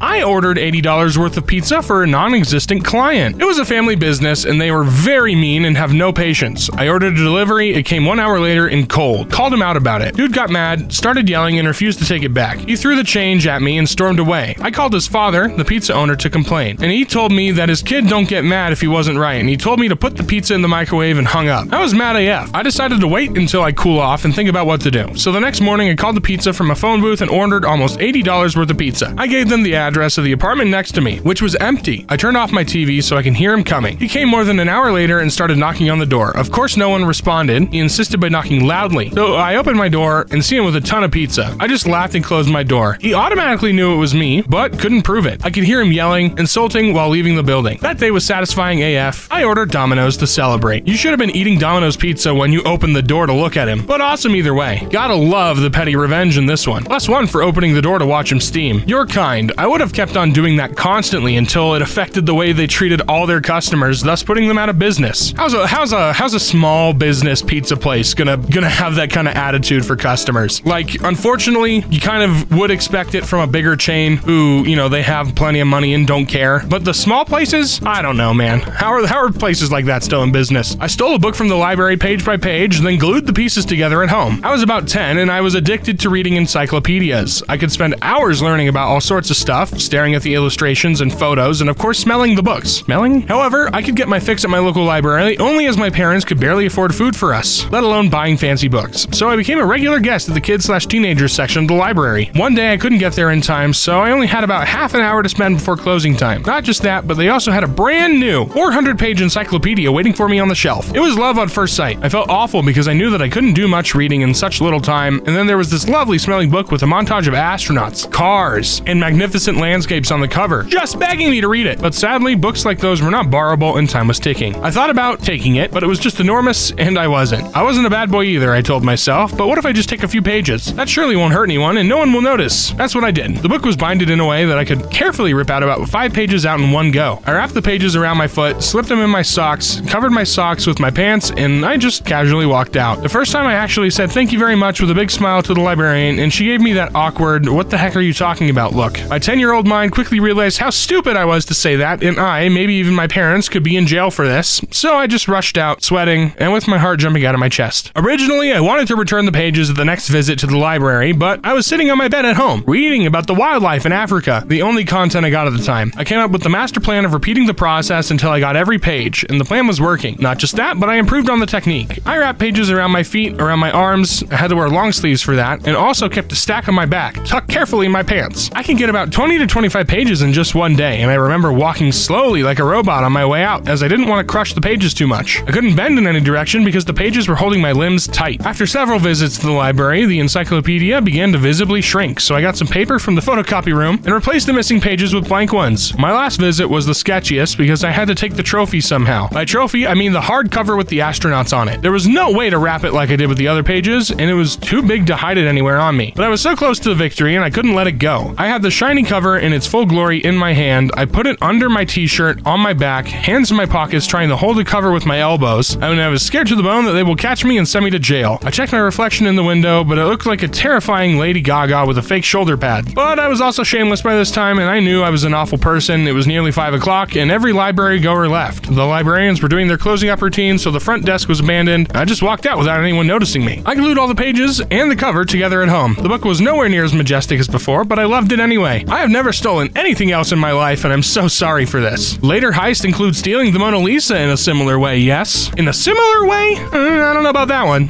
God dang, dude, that's a hella plan for a young child. Steal the moon! I stole a girl's iPod Touch and then sold it back to her a month later. It's 2011. I'm in year 7. It's my first year in high school, and I got sent somewhere where I literally only knew one person and we never spoke. A few months into the year, I'm sitting in math class, and this one girl who I just could not stand and who also bullied me on and off kept just interrupting for the stupidest of things and just generally kept getting on my nerves the whole lesson. Partway through the lesson, the teacher tells us to leave our things in the classroom so we can go to the computer lab, and I was the last to leave the classroom. Note that most kids hid their iPods under their pencil cases during class so they can get away with using it, and I knew for a fact she'd left it there. I don't know what possessed me to steal her iPod, but I did, and she never found out. But now I leave school. The iPod is still in my shorts pockets, but nobody knows what I've done. The girl thinks one of the guys was screwing with her and doesn't suspect me at all. Now, the one defining feature of her iPod was that the back was completely covered in small circle stickers. Once it had gotten so worn down, they'd almost fused with the device. So I did what I could and scrubbed those frickers off until it looked brand new. I didn't use it at all in fear from my mom seeing it and screaming at me for being a thief. So I just sat in my room gathering dust until about a month later, I overhear her asking some people if they know about anyone selling an iPod. One week later, and I made $150 by selling a girl her own iPod that had just been factory reset and scrubbed down. Now that is what we call a pro gamer move. Serial number would have been the same, too bad she didn't notice. Oh, aren't you a frickin' fun at parties, Knack 74? Um, actually, the serial number's the same. Shut up! It was funny. My friend and I lowered our GPA and broke into the teacher's lounge because we were thirsty. I really like soda, and around five years ago, my friend and I were high school freshmen. We were really poor, but we still both would scrounge up change to buy a soda every now and then. The recent healthy lifestyle thing schools were doing, all the soda vending machines were removed. For a while, we were really upset. However, I walked by a teacher's lounge one day while a teacher had the door open and saw that there was a Coke vending machine still in there. Not only that, but the price of a single bottle was only 50 cents. That was an outright steal to us. We knew we had to get in there. The problem was the door was constantly locked. We began creating our plan. During lunch hour, we scoped out the normal high school building. Since it was lunch, all students were required to be in the cafeteria. However, we knew a way to have access to the building was to get lunch detention. Kids in detention were released 20 minutes late for lunch. The easiest way to do that was to not turn in biology worksheets. Three zeros in biology and a few late lunches later, we found out that one of the teachers would leave a key in the door for easy access. On the fourth day, we put our plan into action.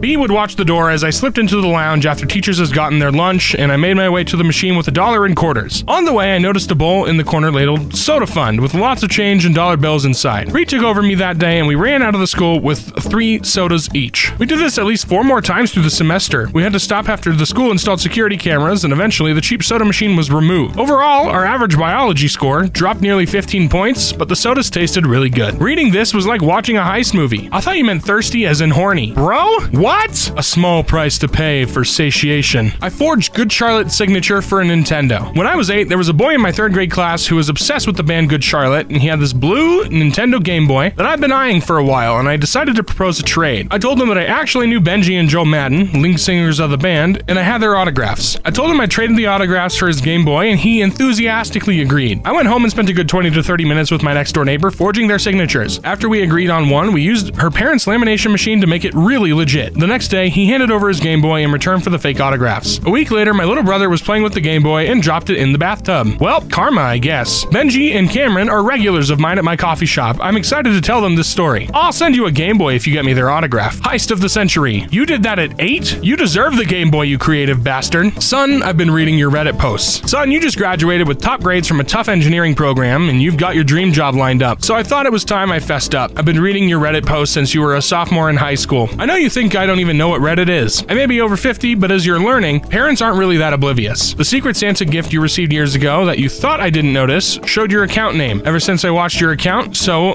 when I saw some comment about being down or unhappy, mom and I tried harder to make sure you knew we loved you and we're sure everything would work out. Teenage years can be tough. I'm proud of what you've accomplished and see the mature, confident, capable young man you've become. So, no need to change your account name now. I don't feel the need to watch over you in the same way I did years ago, and I promise to stop reading your posts. So, what weird plan is your son into? Dad invades his son privacy. Then his story invades my heart. Mad tears, bro. That's a heartwarming invasion of privacy. I don't know whether you're an awesome dad or a huge d- I used to throw out food food, so mom had to cook again. When I was a kid, I used to live alone with my mother. She always cooked more than necessary at lunch, so she don't need to cook again for dinner. Food usually was enough even for the next day lunch, and I hated this. In my mind, there was no need for that. She was just lazy. I threw out the food, so she had to cook a new one. This lasts for a month or so. Obviously, she realized what I was doing, but never said a word. She just took the hint and cooked less. Looking back, she was so busy, single mother having to take care of a child and work at the same time. Honestly, this is not something I cared that much until last week when she died and everything came back. All that stuff that I've done in the past that made our life difficult. If that had been more than a mild inconvenience, I'm sure she would have said something about it. You were a child, find comfort in knowing that these were things she would laugh about when sharing with friends and family and coworkers. Sheesh. I even I don't feel like cooking 80% of the time. Lamau. I stopped attending a class, lied about turning in the final, and still passed. Back in my junior year of college, I took a class with a professor that I really did not like. He was so disorganized, absent-minded, and really didn't teach anything. The kind of professor that tells you to watch YouTube videos instead of actually teaching you the subject. It took him weeks to grade anything, and I don't even think he read them. It seemed like he was just coasting until retirement. Anyway, I flew out to see my grandma one week for her 90th birthday, and I missed a few classes and missed a few YouTube lessons. Well, the following week, my grandma passed, so I flew back out for her funeral, in turn missing a few more classes. I was really far behind and really had no clue what we were working on, flunked the midterm, and missed the big project. At this point, I just gave up and reserved myself to failure and retake it in the summer, and I didn't show up to any other classes. At the end of the semester, he emailed me regarding the final project and final test. He congratulated me on a great job with the group project. Really weird since I hadn't been to class in months and he was definitely not part of the group project. He was also wondering if I had turned in the final paper. I emailed him back and told him how happy I was that he enjoyed the project and I had definitely turned in the paper. Well, I don't know if he wanted to cover his tracks and pretend he didn't lose my test or whether he didn't give a crap about it, but when I checked my final grade for the semester, I had passed with a high C. I do not regret it at all. He was a horrible professor and a total slob. Freaking amazing. C's get degrees, even from slobs on the job. Deception 100. Bro didn't even try. Bro didn't even try to deceive.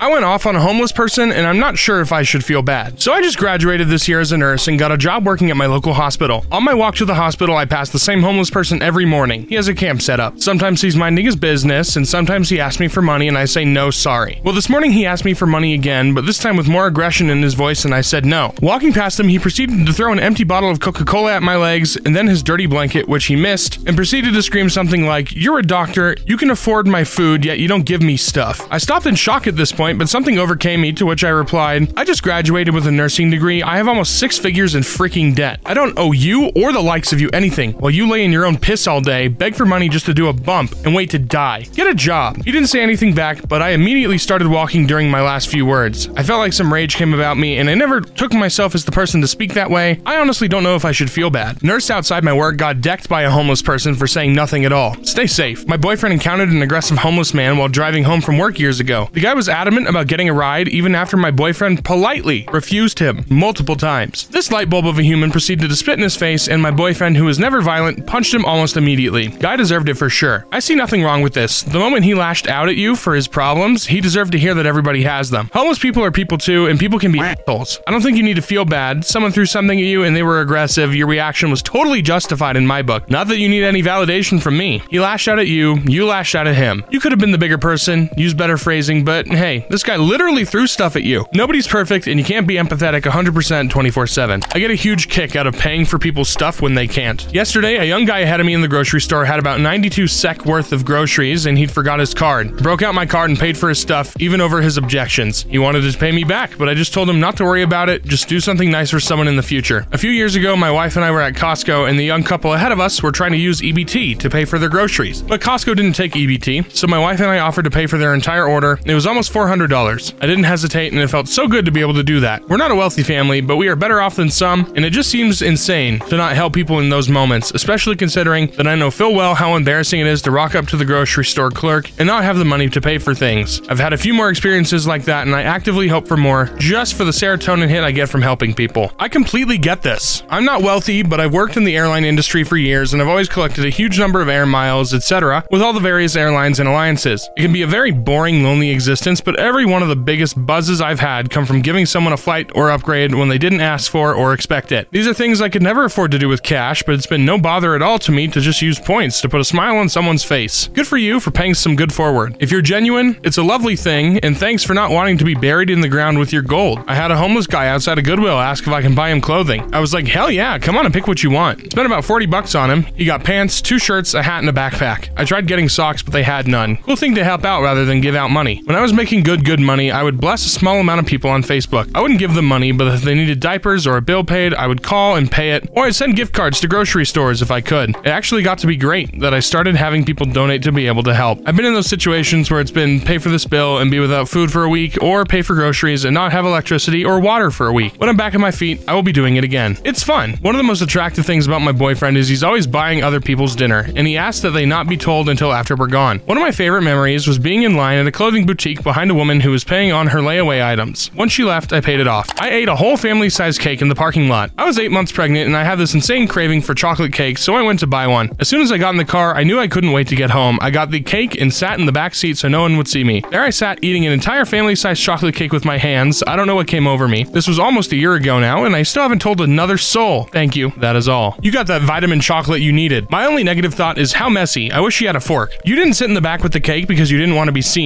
You sat in the back because you didn't want to share. I bet you and the baby enjoyed it thoroughly, but I hope you got some milk too. Life is hard, eat the damn cake. I'm 5'0 and on the thin side, but binge eat on my occasion, and my family has held two interventions fearing I'm bulimic because nobody can eat that much and keep it down or gain weight. The f I can't, Doris. When I was really depressed, I would eat an entire pizza by myself. Don't feel bad about it. Usually when people crave chocolate, it's because the body is looking for more magnesium. OMG, chocolate is my number one lifelong craving. All day, every day, but since getting pregnant, my doctor put me on a magnesium supplement, and the craving has significantly died down. I was just telling my husband how weird it is that I'm craving vanilla cake because usually I only eat chocolate, but I just really want vanilla and plain vanilla sugar cookies. I'm a chocolate chip cookie person, never a sugar cookie person. If we're talking about those crappy grocery store sugar cookies with the cake icing on top that is just disgustingly thick and they taste like sand and they come in those plastic containers, those are gross, disgusting. I made up a lie and everyone I know thinks it's true now. When I was a kid, I found out my stepmom was allergic to pineapple. I thought that was cool. I don't know. I just wanted to be like her, so I told my friends I was allergic to pineapple. I used to love it, but I just decided one day I was allergic to it. Now everyone in my life thinks that I'm allergic to it. I haven't eaten pineapple in 12 years or more, and I know it's such a stupid lie, but everyone knows that about me, and they always make sure I can't have pineapple. It even says it on my medical chart, and it's completely made up. At this point, I've avoided it for so long and told everyone I'm allergic to it that I'm afraid my body might actually react to it because I almost believe it myself. It's such a stupid lie, but it's carried into my entire life. I feel so stupid. Just go get tested for allergy and act in wonders when you can find you are okay with pineapple now. Allergies can appear and disappear over time, so you can safely salvage this. Plot twist, you're that guy from Glass Onion and you actually are allergic and now you're dead. I lied about my height for most of high school, so once I stopped growing, I was at a happy six foot even. But that wasn't enough for me. I needed more. I would tell everyone I was five foot ten. I noticed there was a large population of guys who claimed to be six foot, but were just under the mark. So to really drive the point home, I'd argue that I'm under six foot, and since they're shorter than me, they can't be six feet tall. Watching the panic in their eyes as they tried to defend their height was the highlight of my high school experience. I'm five foot one at 18, and I'm super insecure about my height, and sadly, I can't lie about my height. You could always say that you're 4'11. Yeah, make the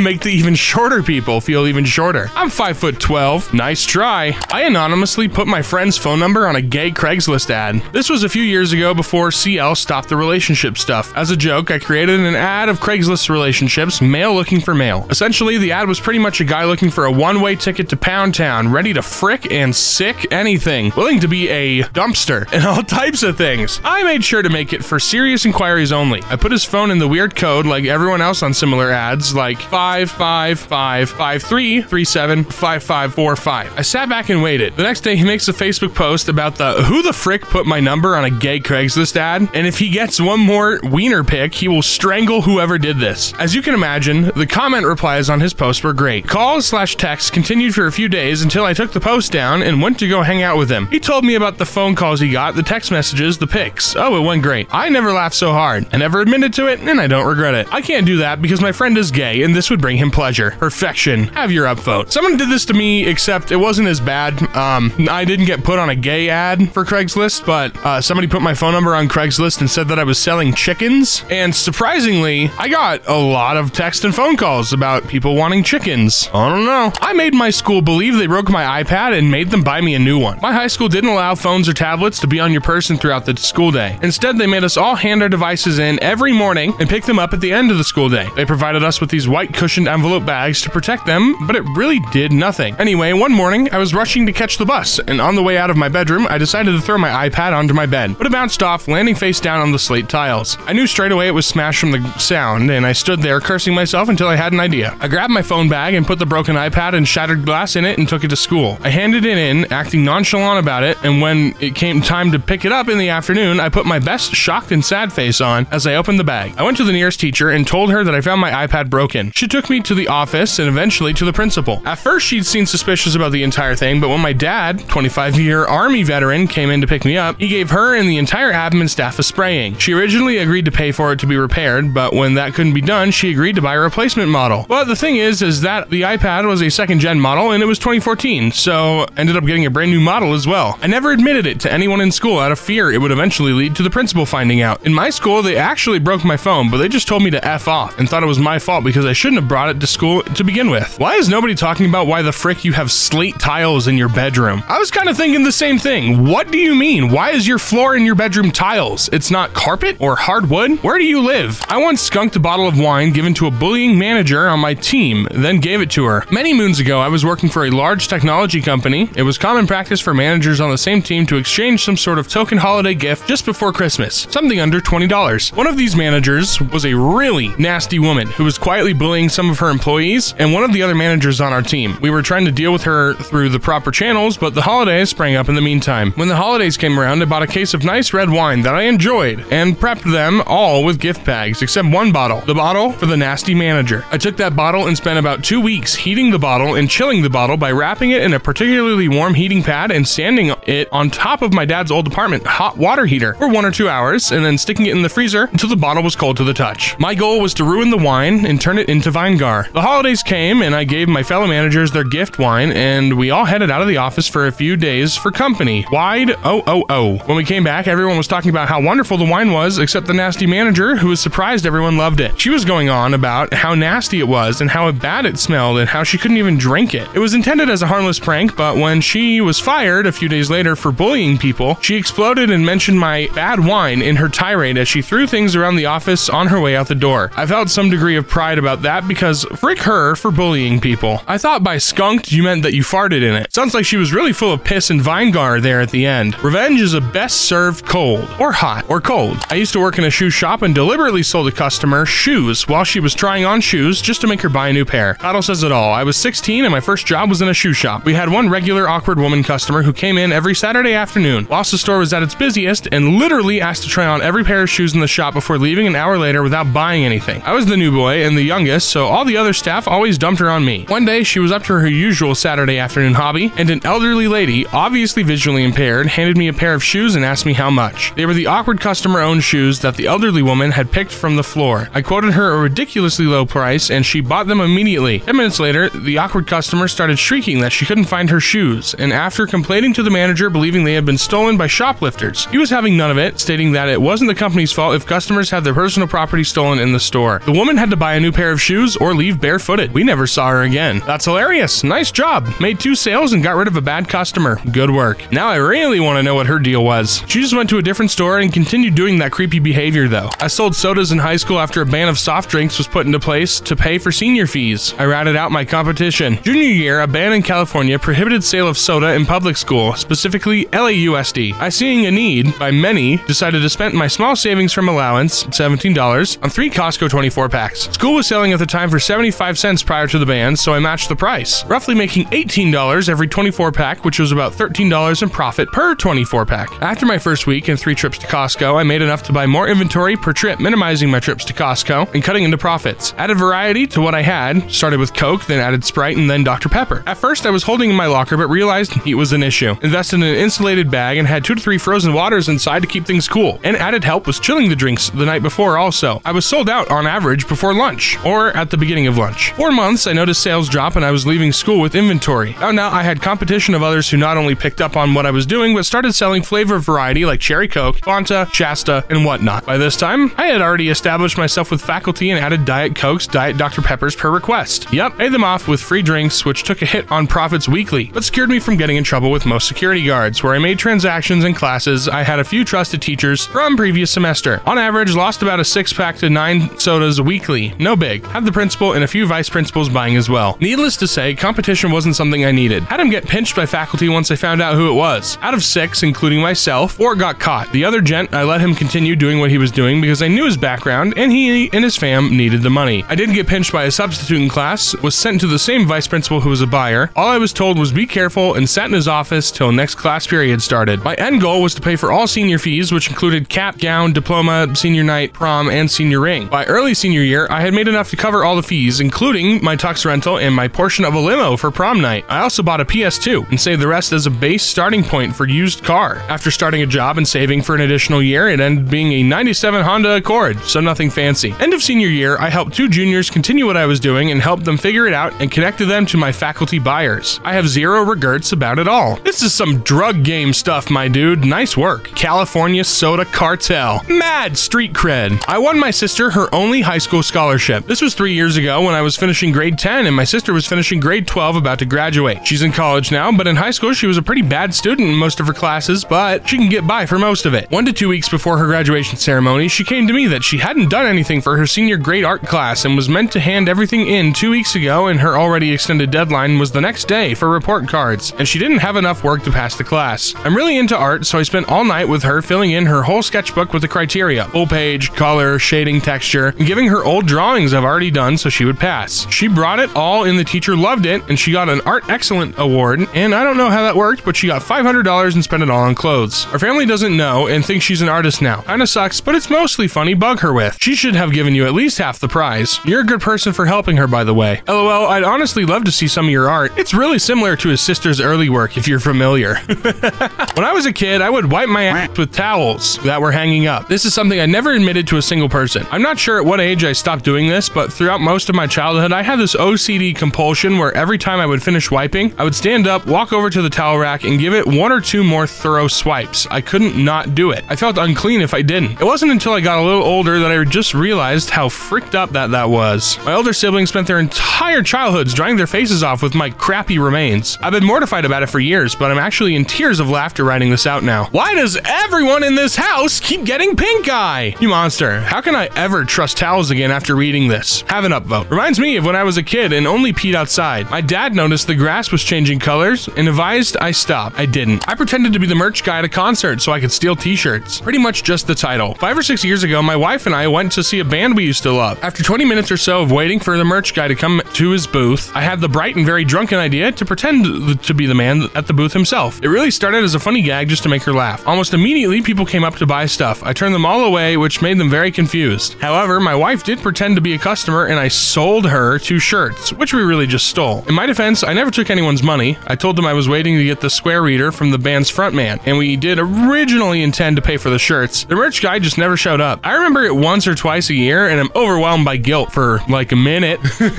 wow, didn't know anyone could get away with a thousand dollars worth of concert merch so easily. I know stealing is wrong, but this is such a fun story. Should have actually become the merch guy. They probably would have given you free shirts if you substituted for them. I trash my coworkers' mugs and dishes when they leave it soaking in the community sink. At work, we have a kitchenette, and at the end of the day, my coworkers leave their dishes and mugs filled with oatmeal and other things left to soak. We even have a sign that states, "Do not leave personal belongings in the kitchenette. We are not responsible for lost items." I stay at work pretty late, so I see the night janitor come in and clean. I notice that he goes out of his way to wash the dishes and mugs, which isn't a part of his job. Our company only contracts them to do floors and trash, so it's our responsibility to clean up after ourselves. My coworkers must have noticed too because they have since stopped doing their own dishes and have been leaving piles in the sink, knowing that they will be magically washed and dried in the morning. They even make comments about the Mexican sucker that's cleaning for them. This has been ongoing for weeks, and my coworkers even have the audacity to complain about water spots on their mugs. So throughout the day, when I find myself alone in the kitchenette, I take an item or two or toss them out in the building hallway trash so it can't be found. We work in a building where we share office space with other businesses, and there's no cameras, so I haven't been caught yet. A coworker asked our manager about their items being taken, but my manager just reiterated the policy. I guess I'm being petty, but my coworkers are trash and I don't feel bad. I hope the janitor doesn't get blamed for throwing things away. You're doing noble work, my friend. I kicked the kid in his balls and he had to have one removed. You did what?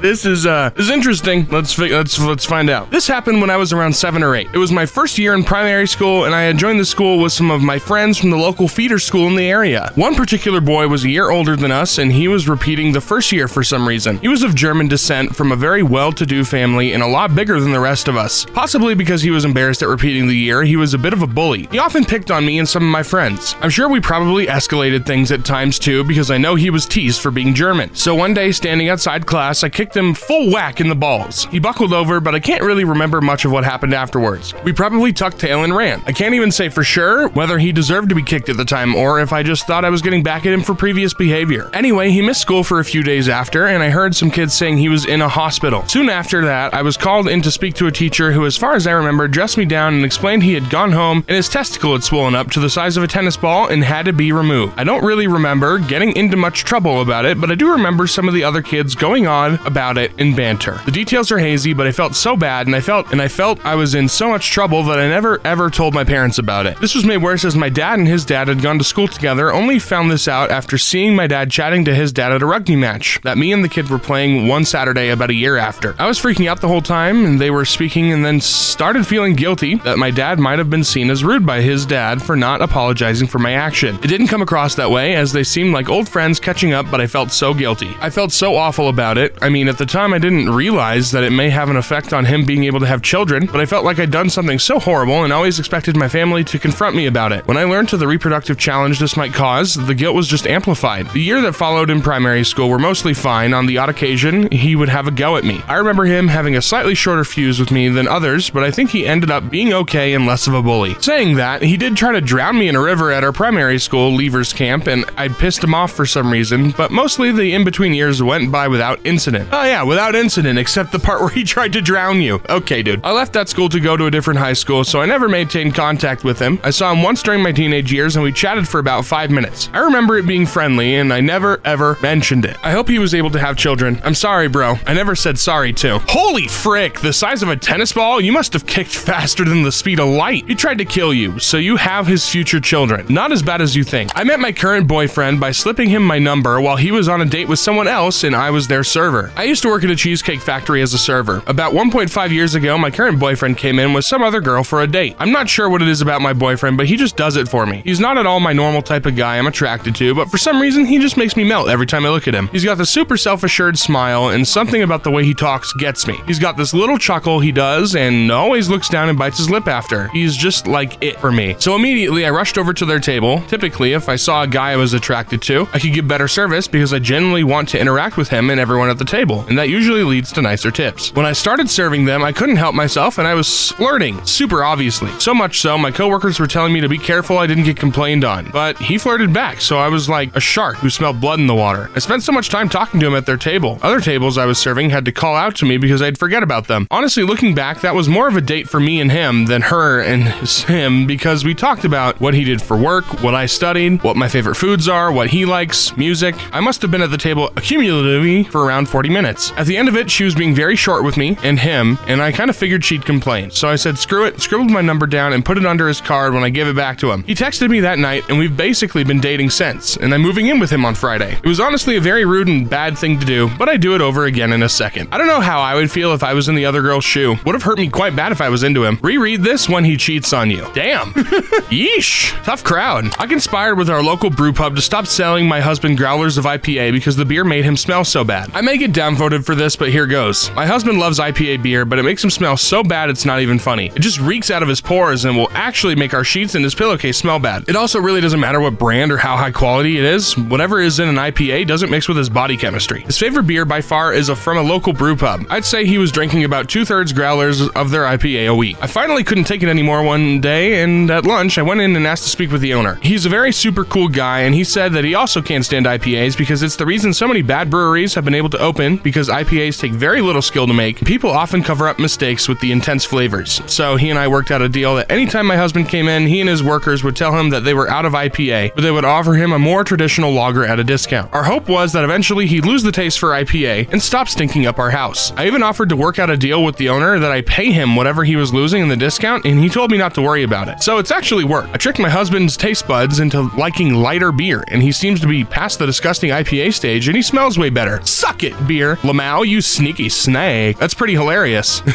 yeah, I mean, I'm not a beer guy at all. Uh, I don't know th- how th- any of this works, but I've tried beer before and it's gross. So, yeah. I ended a girl's gymnastics career when I karate kicked a door open and broke her toe. We were at gymnastics camp when we were teenagers, and there was a swinging door that I had wanted to bust open with a sweet karate kick all week long. The only thing stopping me was that I was afraid there was going to be someone on the other side, and I didn't want to hurt anyone. Well, the last day comes around, and I said, frick it, and kicked the door as hard as I could. My friend and teammate was on the other side, and the door caught on her big toe, pulling it back uh, and breaking it so badly she couldn't compete for almost a year. Missed regionals and ended up quitting. She just assumed I had pushed the door open like a normal person, but nope, I karate kicked that B word. I still feel bad about it, and that was about 15 years ago. Sorry, girl, I'm about to end this girl's whole career. This is why I never learned karate. I'm dangerous enough without such knowledge. Tables would not stand a chance. Karate chop this and karate chop that. What's she doing now? That's the big question. About three miles an hour on crutches. I read my roommate's diary all year and then stole it when we moved out. In 2019, I got into college and started my first year with a random roommate. She was really rude to me, and despite trying to be a good roommate, I would always clean the room, take out the trash, etc., but she was always an a hole. I wanted to know why, so I dug around like the third week and I found her diary. I started taking photos of it when she was in class and I would read it. I would make sure to put it back exactly like it was, and I never used it in our arguments. I kept that stuff hidden from everyone, even my friends. I did this consistently every other day for two semesters, and it was so addicting I couldn't stop. I learned so much about her and how she's mentally unwell, but she hides it really well. I couldn't help it, it was just so intriguing. Then COVID hit, and I just wanted a keepsake. and when she was moving her stuff out, I was about to get in my car and leave, and I went in and made the intrusive decision to steal it and put it in my pants and my shirt over it and left. She never texted me about it or anything and never posted about it. Nothing. Absolute silence. She had quite a few people who didn't like her, and her friends and BF were really weird too. I legitimately think she doesn't know it's me. She had such a huge falling out with one of her friends, and I really think it was because she thought she stole it. I know this is absolutely terrible, but I still have the book. It's been so long. It's just at my parents' house. I know this was absolutely terrible for me to do, and that's why it was my confession. I have dreams of her finding out and us arguing to this day. Man, was her stuff fricked up, though. I'll never be able to see it into someone's life like that again in real time updates. Yikes. Makes me glad I don't have roommates anymore. This is why I write my diary on my locked phone. OP is fricked up. I gotta agree here. The uh, if this was an "Am I the a-hole?" post, the OP would be the a-hole. But good lord, you can't just do that.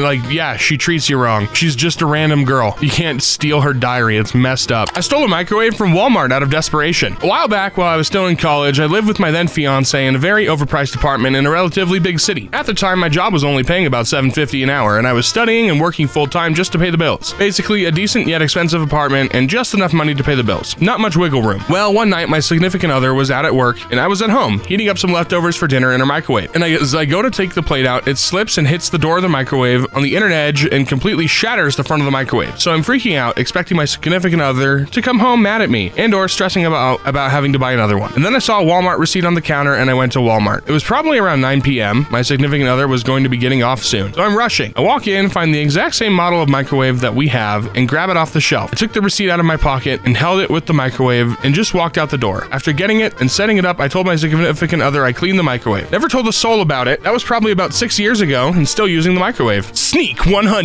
Frick it, man. This world's nickels and dimes you to death. Walmart will be okay with one less microwave. We return things to Walmart we did not buy at Walmart. They don't care. I lied about completing a project in the eighth grade and passed anyway. I completely and 100% despised homework as a kid, and about half of my teenage years. When I was in the eighth grade, we were assigned a project towards the end of the year that counted for a big percentage of our overall grade. From what I can remember, it had something to do with shapes and equations. It was basically like a large project of everything we learned the whole year. I didn't want to do it. I worked on it a very small amount here and there, but never completed it. The math teacher collected them over a period of a few days, and then was going to spend a few more days grading them all. I played along to all my other classmates that I turned mine in and even explained what it, maybe, looked like. The day came and she was finishing up grading all of them, and as she finished each one, she gave them back. So some students had already taken theirs home. So she's sitting at her desk and asks, Spoopy Pup, have I graded yours yet? And I quickly replied, Yes, ma'am. You gave it back to me a couple days ago. Some wonderful, powerful magic force was working hard that day because all she said was, Oh, I forgot to write your grade down. Do you remember what it was? I didn't want to aim too high because I knew what work I was capable of, so I simply said, You wrote 89. And she just wrote it down in her grade book. She didn't question to see it again or anything. I couldn't believe it worked. That was the only time that ever worked, but it worked nonetheless. I passed math because of that lie. I did learn to just suck it up and do all the work from then on. You know, at least kudos to you for learning your lesson in a weird reverse way.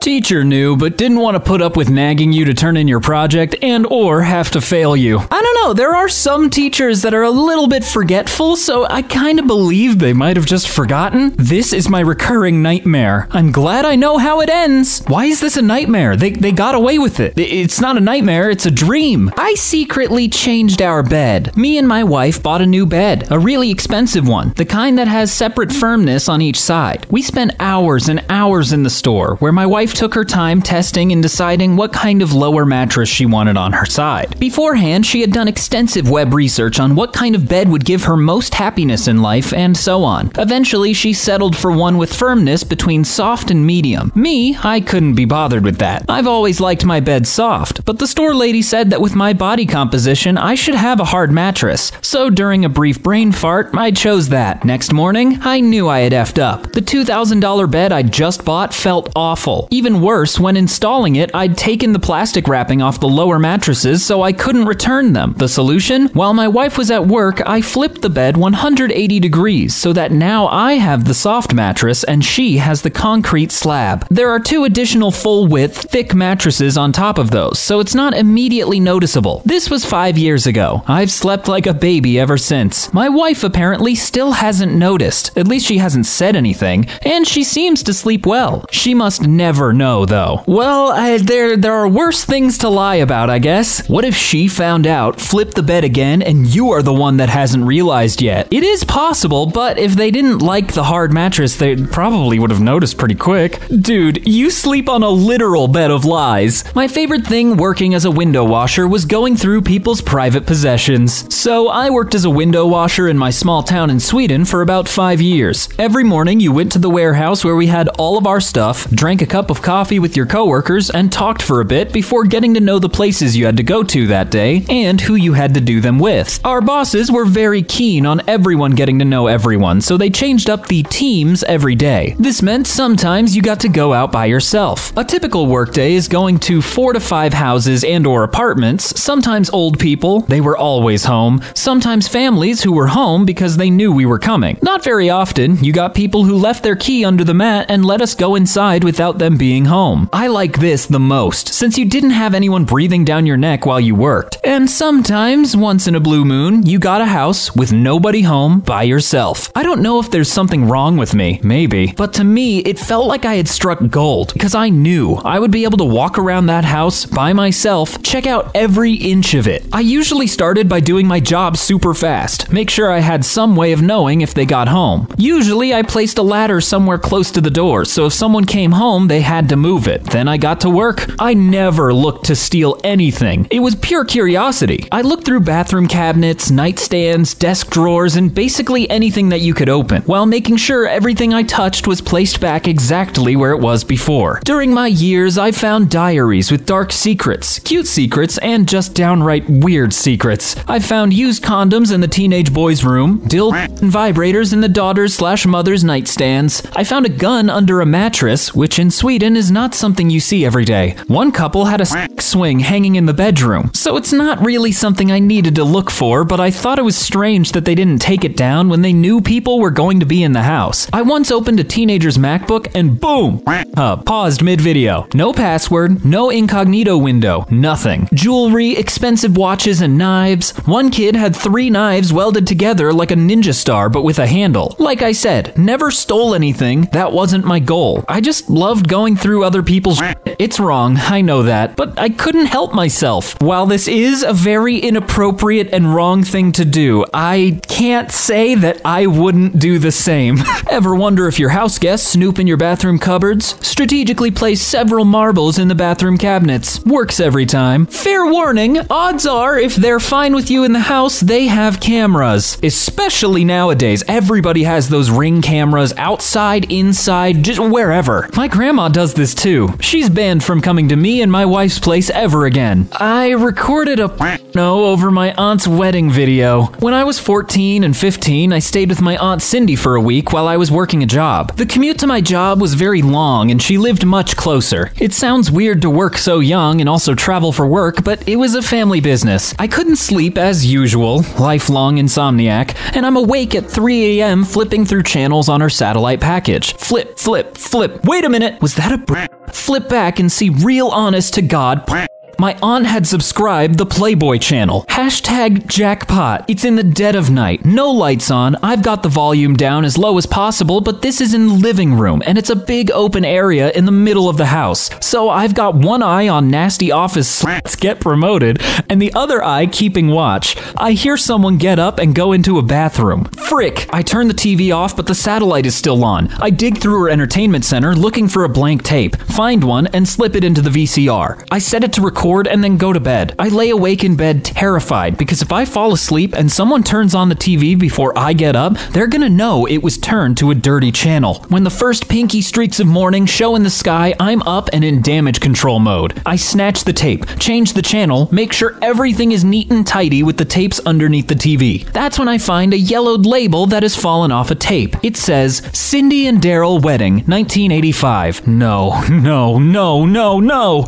Look at the blank tape in my hand. See the faint outline of where a label used to be. They lined up perfectly. No. Suddenly, I have this smoking gun of a horrible thing I did in my possession. Anybody who watched the tape would see 30 seconds of her getting ready with her bridesmaids, cut to half of a set in the workplace, then it cuts out later to reveal mid wedding ceremony. What could be more sacrilegious? I never watched the tape with any joy. I never told anyone. I just kept it hidden like some awful burden. Oh my god, that is so bad. That's just so unfortunate. Finally, a p- that ends with marriage. Didn't think we'd see it. Don't think that's quite it still, but it's something. My favorite bit is I never watched the tape with any joy. Yeah, that does kind of imply that you did watch it, maybe a few times. I used to go into random homes in my neighborhood when the occupants weren't home. This was in the mid 80s when security wasn't like it is now, and also lots of families didn't even lock their doors. The first thing I ever did was when I was riding my bike in the neighborhood and saw front door of a home wide open. I peeked in and said, hello, just to see if someone was home. No one answered. I stood in the living room just scanning the area and got spooked and left. After that day, I was hooked on it. I would wait for people to leave and enter through whichever door slash window was open and would walk around. I never stole anything, but I did open drawers, closets, and went through personal belongings. I once found a wad of money rolled up in a sock. I took the money and sock and put it in the next drawer over. I felt like I needed to leave a mark, so I ended up moving dishes and cabinets. Like I switched the cups with plates and moved utensil drawers to another spot in the kitchen. I did this in about eight or nine homes until people started talking and getting suspicious. And of course,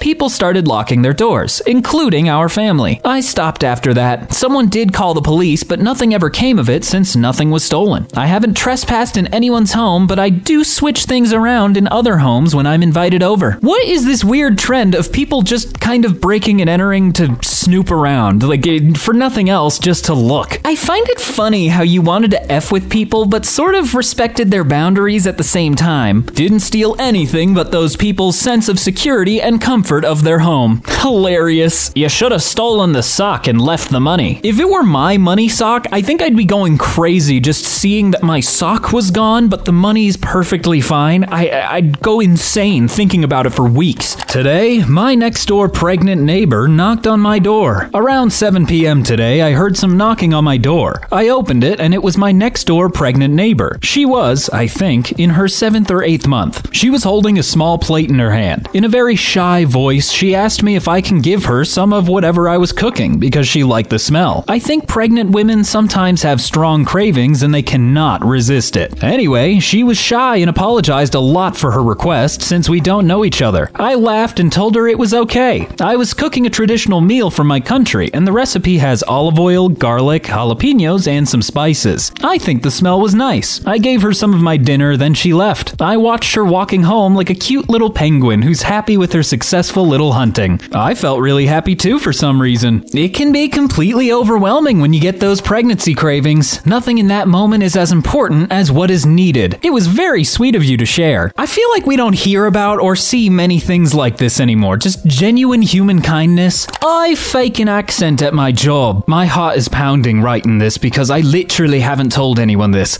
So I worked at this one store and I worked on the sales floor. But before all that, I was just one person interviewing for a position at the store. Before I arrived for my interview, a friend of mine dared me to interview in a British accent. I said I'd do it only if they paid me, and to my surprise, they sent me like $10 through Venmo, which was more than enough for me. I went into the interview with the mindset that I wasn't going to get hired, and they inevitably hired me on the spot, accent and all. I was nervous because I had already talked to a whole bunch of higher ups with the accent and decided to just go with it, thinking it was only going to be a summer job. I was so wrong. It's been like seven months that I've been working there, and I still use the accent to this day. When people ask me where I'm from, I just tell them my hometown because I have several Brits from that town whom I grew up with. The accent the accent hasn't really posed a problem until now cuz my BF is friends with one of my coworkers, so I'm to have to find the right time to come clean. Thanks for coming to my TED Talk. I mean, honestly, pretty damn impressive to go 7 months and not be discovered that it's a fake accent because I just did like a minute of it and yeah, that was awful. It was terrible. Bet a coworker that you can fake an American accent for the rest of the year for $300. Honestly, not a terrible idea. It might get you out of it scot free. Fake a head injury and go back to normal. This post is hilarious. Sorry, OP.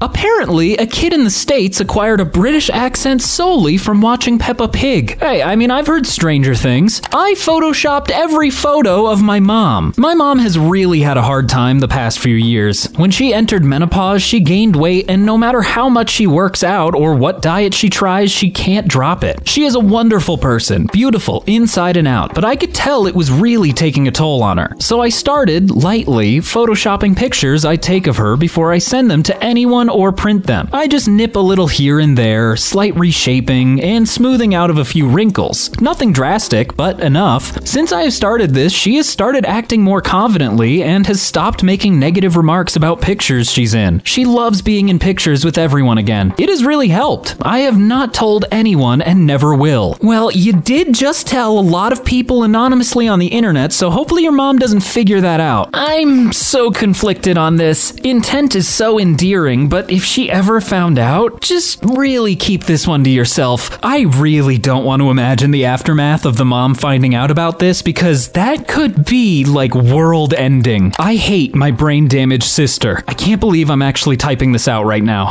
It's making it feel very real. And before you say it, I know, I know, I am probably one of the worst human beings on this planet. Around a year ago, my older sister, 27, widowed mother of two boys, 8 and 5, decided to, against every single warning made, get drunk as shit and wreck her car into a rock embankment outside of our town. She was life flighted to an ICU, spent weeks in a coma, and awoke in vegetative state. In the past year, she has slowly began to see some progress. Because of this accident, I was forced to quit my job, leave my friends, move across the country, and back in with my parents to help take care of her and raise my nephews. I love them dearly, but I have never wanted to have kids, especially not forced upon me like this. She had the mind of a child now, argues about silly things, can't cook for herself, cries over everything, can't read, memory loss, partially paralyzed on her right side, has aphasia, and a list of other problems with me as her caregiver. She tell me how happy she is to be alive after such a bad car accident. I want to scream that I wish she would have died. Her boys are a wreck after losing their dad recently and now having an effed up mom. My parents are spending all of their retirement savings for her treatments. I can see the years getting shaved off my dad and mom from the stress. I don't treat her any differently. I still tell her stories and laugh with her and do my best, but I hate the way I feel when I look at her. Did you even think about your boys when you got in your car? She is smiling and completely ignorant to the pain she has caused to my entire family. So I guess that's it. That's my confession. I have a deep, dark hatred and resentment for someone I love, and I will never let her know. Oh, yeah. Uh, I don't really know how I can respond to something like that. That's that's really heavy. Damn. That's exactly what I said. That's all I can say. Damn. Damn. Damn. My dad passed away this morning. He was riding his motorcycle to work early this morning. At around 2:30 a.m., he crashed his bike. We're thinking he had a heart attack and that's what caused him to crash. In high school, about 13 years ago, I had to do a paper for English class. The topic was write a paper on either a personal hero of yours or something that influenced you growing up, and then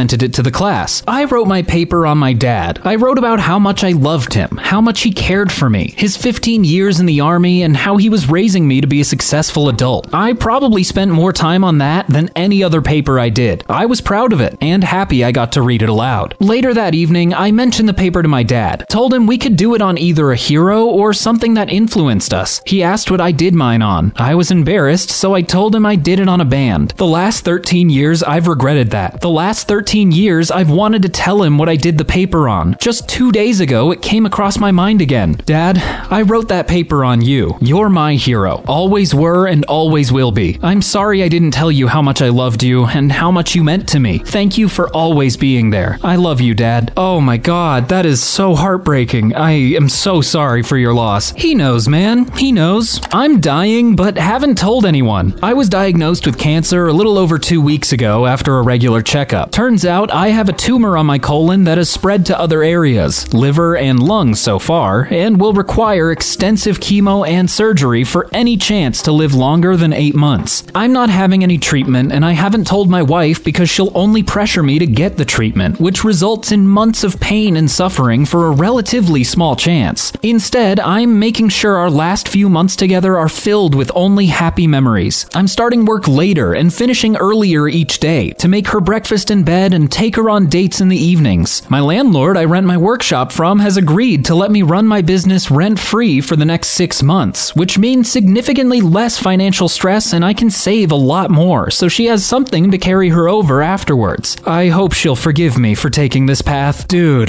that's rough. You need to tell her. Life isn't a movie. Your wife and immediate family deserve to know. While I think I understand the sentiment of wanting to keep it a secret and pass peacefully, you need to tell people, otherwise, they're not going to be prepared, and that's just going to hurt them even more, I think. I've realized I detest my boyfriend. We've been together almost three years. We live together. I support us 100%. In the time we've been together, he's worked maybe two months. He's depressed and anxious, and he steals all the oxygen and joy out of every room. He never wants to go anywhere, but then complains that we never go anywhere. I got him an interview at my work, a moderately well paid entry level position. He refused to go, saying he wasn't ready, then spends time complaining about not having a job. You get the idea. Everything in our lives revolves around him and his moods. He cries, yells, or just sighs incessantly. There's no laughter or happiness in our home. I walk on eggshells all the time. I dread coming home from work. He grabbed me a few days ago and shook me so hard I'm bruised on my upper arms. The apartment is in my name, but he literally has nowhere to go because he has no friends and he refuses to contact his family. So he'd be homeless and I can't do that to him, or any human really. I fantasize about being alone all the time, like only cooking or shopping or doing anything just for myself. It would be incredible to be able to breathe again. His birthday was last week and I saved up for a month to get him something related to his hobby. When I gave it to him, he said, I just told you, I didn't want to do this anymore. What were you thinking? I think at that point, any love I still felt for him just died. He doesn't cook, clean, care for his dog, or do anything but play video games. I'm trapped in a prison and I just don't really care what happens to me anymore. I don't want to die, but I wouldn't be upset if I didn't wake up tomorrow, if that makes sense. I know what I should do, but I'm just a dumb bee. Thanks for reading. Typing it out helps. Honestly, it seems like you're very entitled to just kick him out because you own the apartment, you pay all the bills, you do everything.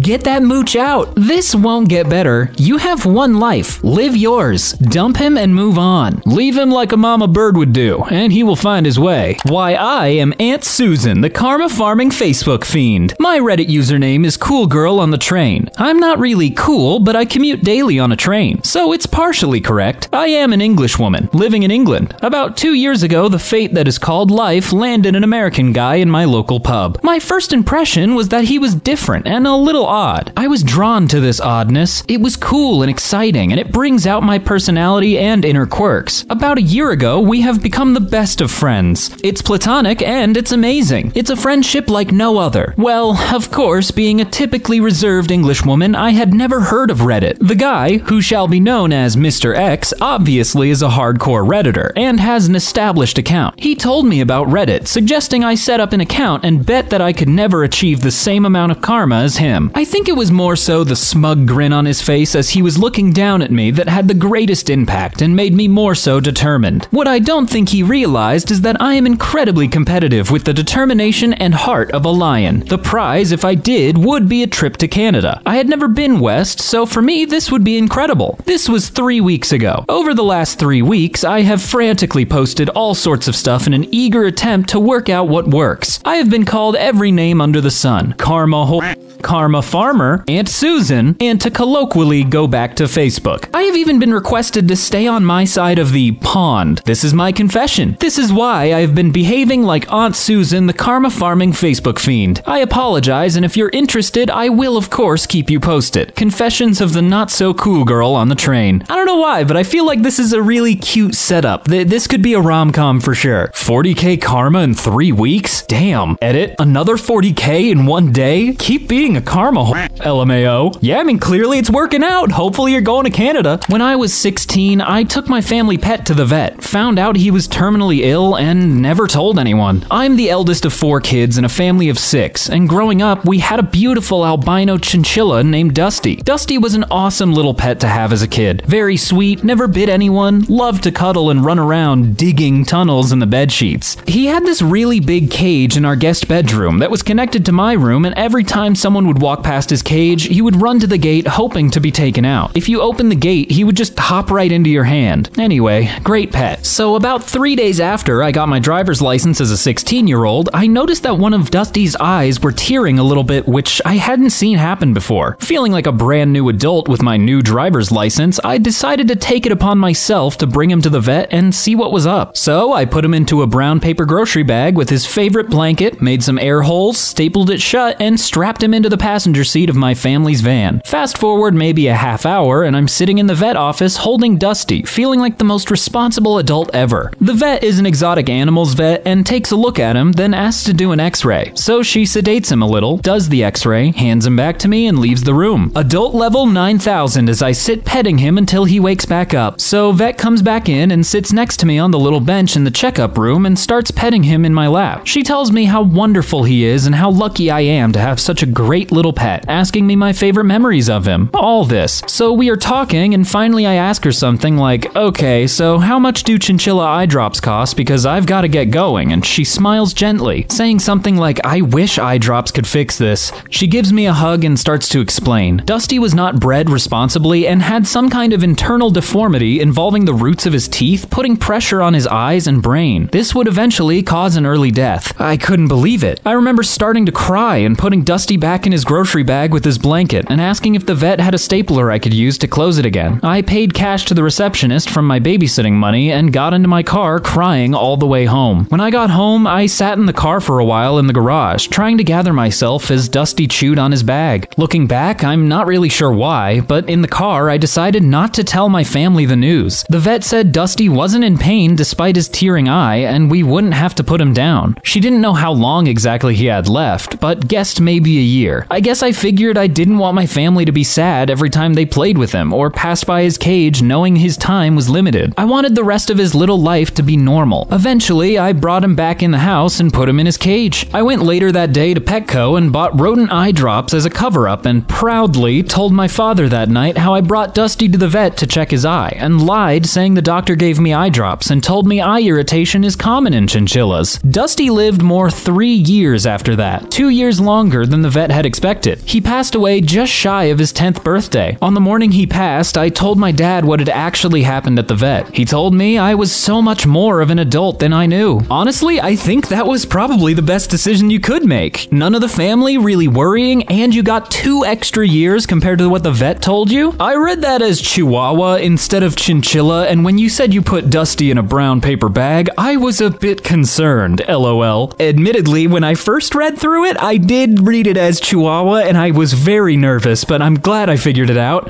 IDK, why I'm crying in the club, RN. No, it's valid. You you should cry. Maybe not in the club, but okay, just start crying. I cheated on my husband with a married man, which resulted in the breakup of both our marriage. Well, long story short, I was in a horrible marriage with my alcoholic husband. He was hanging out with swingers and got a drunken BJ while he was stationed in Korea. I was back home in America. At some point, he said things to me that broke my heart into pieces. So I went alone to prove myself I am worthy of appreciation from a man. Found a man, and he was married and in a failing marriage. They had not have sex in two years and were sleeping in different beds. I just wanted a male friend to appreciate me, but we ended up falling in love. Of course, we carried on with the affair. And of course, a spouse got suspicious and had a falling out, and it contributed to the breakup of the marriage. I fell completely out of love with my husband before even started the affair. Once I met a new man, there was no turning back. It is about to be three years that we've been together, and he has been one of the best things that has happened in my life. We are soulmates, best friends. I can't tell anyone this story, but I had to confess. Ooh, yeah, uh, like, sure, it worked out. That's not okay, though. Like, necessary, you know, I don't know, that's bad. Military couples and cheating on each other. Name a more iconic duo. I'll wait. Word to the wise. If you're gonna cheat, then cheat with someone in a relationship so both of y'all got something to lose. Eh, it's a pretty good point, I guess. Two cheaters got together. I'm sure that will work out good. I cheated on every Spanish test I took in high school. So I am not a fan of cheating and have never cheated in any other class. When I was in high school, I was forced to take Spanish to graduate. I am not good with language, and living in the Southwest, I was the only student in the class who didn't already know Spanish. The teacher was therefore unsympathetic and refused to slow down and help. To pass, I needed a solution. I realized on her test days, she would have us use our own sheet of paper. I would make my study sheet on the page before the one I would use for the test and press so hard that I would have it transferred onto the test sheet. This bumped my grades from F's to A's. Teacher suspected me pulling shenanigans, but never caught me. I feel bad. And as an instructor, never let students use their own paper on tests. Whoa, whoa, whoa, slow down, buddy, okay? Cheating is all a part of the game of school. At least that's how I learned it from Naruto. For my foreign language credit, I took Spanish 1. I was already fluent in Spanish, but acted as if I didn't know any and just skated by. You shouldn't cheat, but what else do you expect teenagers to do when you put them into crappy situations with crappy teachers? I hide my mother's iPhone charger. My brother and sister are both really rude and mock me for a lot of my personal choice, which have nothing to do with them. Considering I only see them for a few scattered days in the year and they still choose to spend most of the time insulting me, I get really upset. They both have Apple like our mother, who they live with, and I have Android. I often hide my mother's chargers. She has so many everywhere in her car, laptop, bathroom, living room, kitchen, etc., so that when she discovers them gone, she blames them. She then spends the next few hours furious with both of them and ignoring their requests. Gets me out of the spotlight, and no one suspects me since I don't have any Apple products. Okay, at first I did not know where your title could be going, but oh my god, this is genius. You're a criminal mastermind. Replace them with broken chargers so it gets her even more mad. You are a diabolical genius. Carry on. I just gave a suburban mom the middle finger, and it felt so empowering. I'm a 16 year old boy. I live in the suburbs. Tonight we have a big parade in the downtown of our city, so tons of cars are driving there and back. I dropped off my parents so they could drink and had to take the neighborhood route back home since all the main streets were packed. I went 20 on the neighborhood roads since there were people and parked cars everywhere. I noticed a white minivan was riding my ass, and I was a little annoyed but not angry yet. Then we got to the stoplight, and they tried to cross the double yellow lines just to be ahead of me in the left turn lane. But I sped ahead because I was not having that crap. So we were both waiting to go left, and I had the longest yellow arrow of my life. Also, everyone was going where we came from, so there was not a single gap I could have went left on. But Mrs. Everything has to be perfect for me because my husband is rich honked three times and kept raising her hand and acting like I'm an idiot for not risking my effing life to make a left turn. So as soon as I got that green arrow, I drove right next to her and mouthed a glorious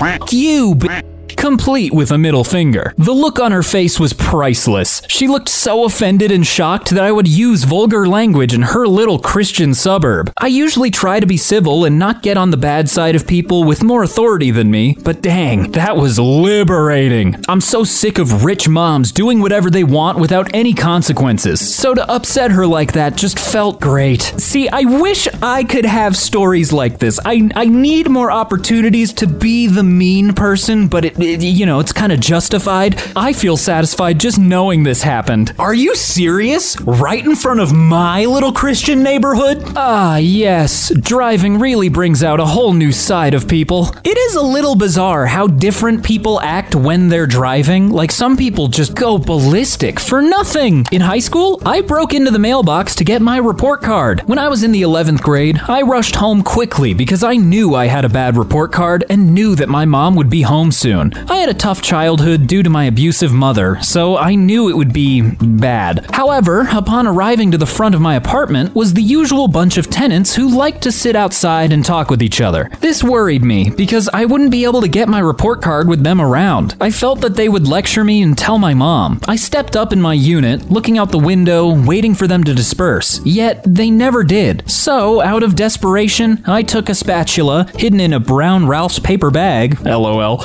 and went downstairs. When the group of older tenants seemed to not be paying attention to me, I began to nervously proceed with my plan in desperation. As I saw the edge of my report card under the mailbox door, I quickly tried to retrieve it but was unsuccessful. Suddenly, I was caught by C, a 60 something year old man. He looked at me and said, Hun, the f you doing? All the other adults turned to look at me. Finally, I confessed to what was happening that I wanted my report card so my mom wouldn't see and explain that she was on her way home. I was expecting punishment from the group. They stared at me, then nodded. All of them began to help me. They all knew how my mom was. A, a mid 30s woman who lived next door, went to keep a lookout for my mom's car. C, couldn't get the mailbox open, so he called J over. Suddenly, J, a 40 something year old man who lived a unit over from me, quickly took out his pocket knife and busted the mailbox open. I couldn't believe what was happening, but I grabbed my report card regardless. How was I going to explain a broken mailbox to my mom? She was obviously going to connect the dots, right? The others in the group hurried to try and close the busted mailbox the best they could. We were able to close it, but I knew once my mom attempted to open her mailbox and couldn't open it, that I would be doomed. Within five minutes of that altercation, my mom came home to see me in front with the group of older tenants and immediately proceeded to get her mail. All of us were silent. She couldn't open her mailbox. Immediately after she attempted to open the box, the live in manager showed up. My heart was pounding to death as he began watching my mom struggle to open the mailbox. Luckily for me, without a second thought, he went on to say, We have gangsters in this area. A lot of this kind of stuff happens. Don't worry though, we'll get it fixed. My mom accepted that explanation and I never said another word of it for years. I did get better grades though. The tenants had made me promise to in exchange for their support. This is like a beautiful story. I don't know, like, I just love the idea of these people coming together to help this kid in a time of need. Like, that's so nice. That's so awesome. I love those tenants. That wholesome moment when you got away with committing a federal crime. But seriously, good for you for not wasting your lucky moment. You made it well deserved for yourself. I love this. What an awesome village to have your back. I wish they still sent report cards in the mail. Now the school automatically emails them to your parents. And that led to many a nights of uh, yelling at my household. I steal my housemates' food and nobody ever suspects me because they think I'm vegan.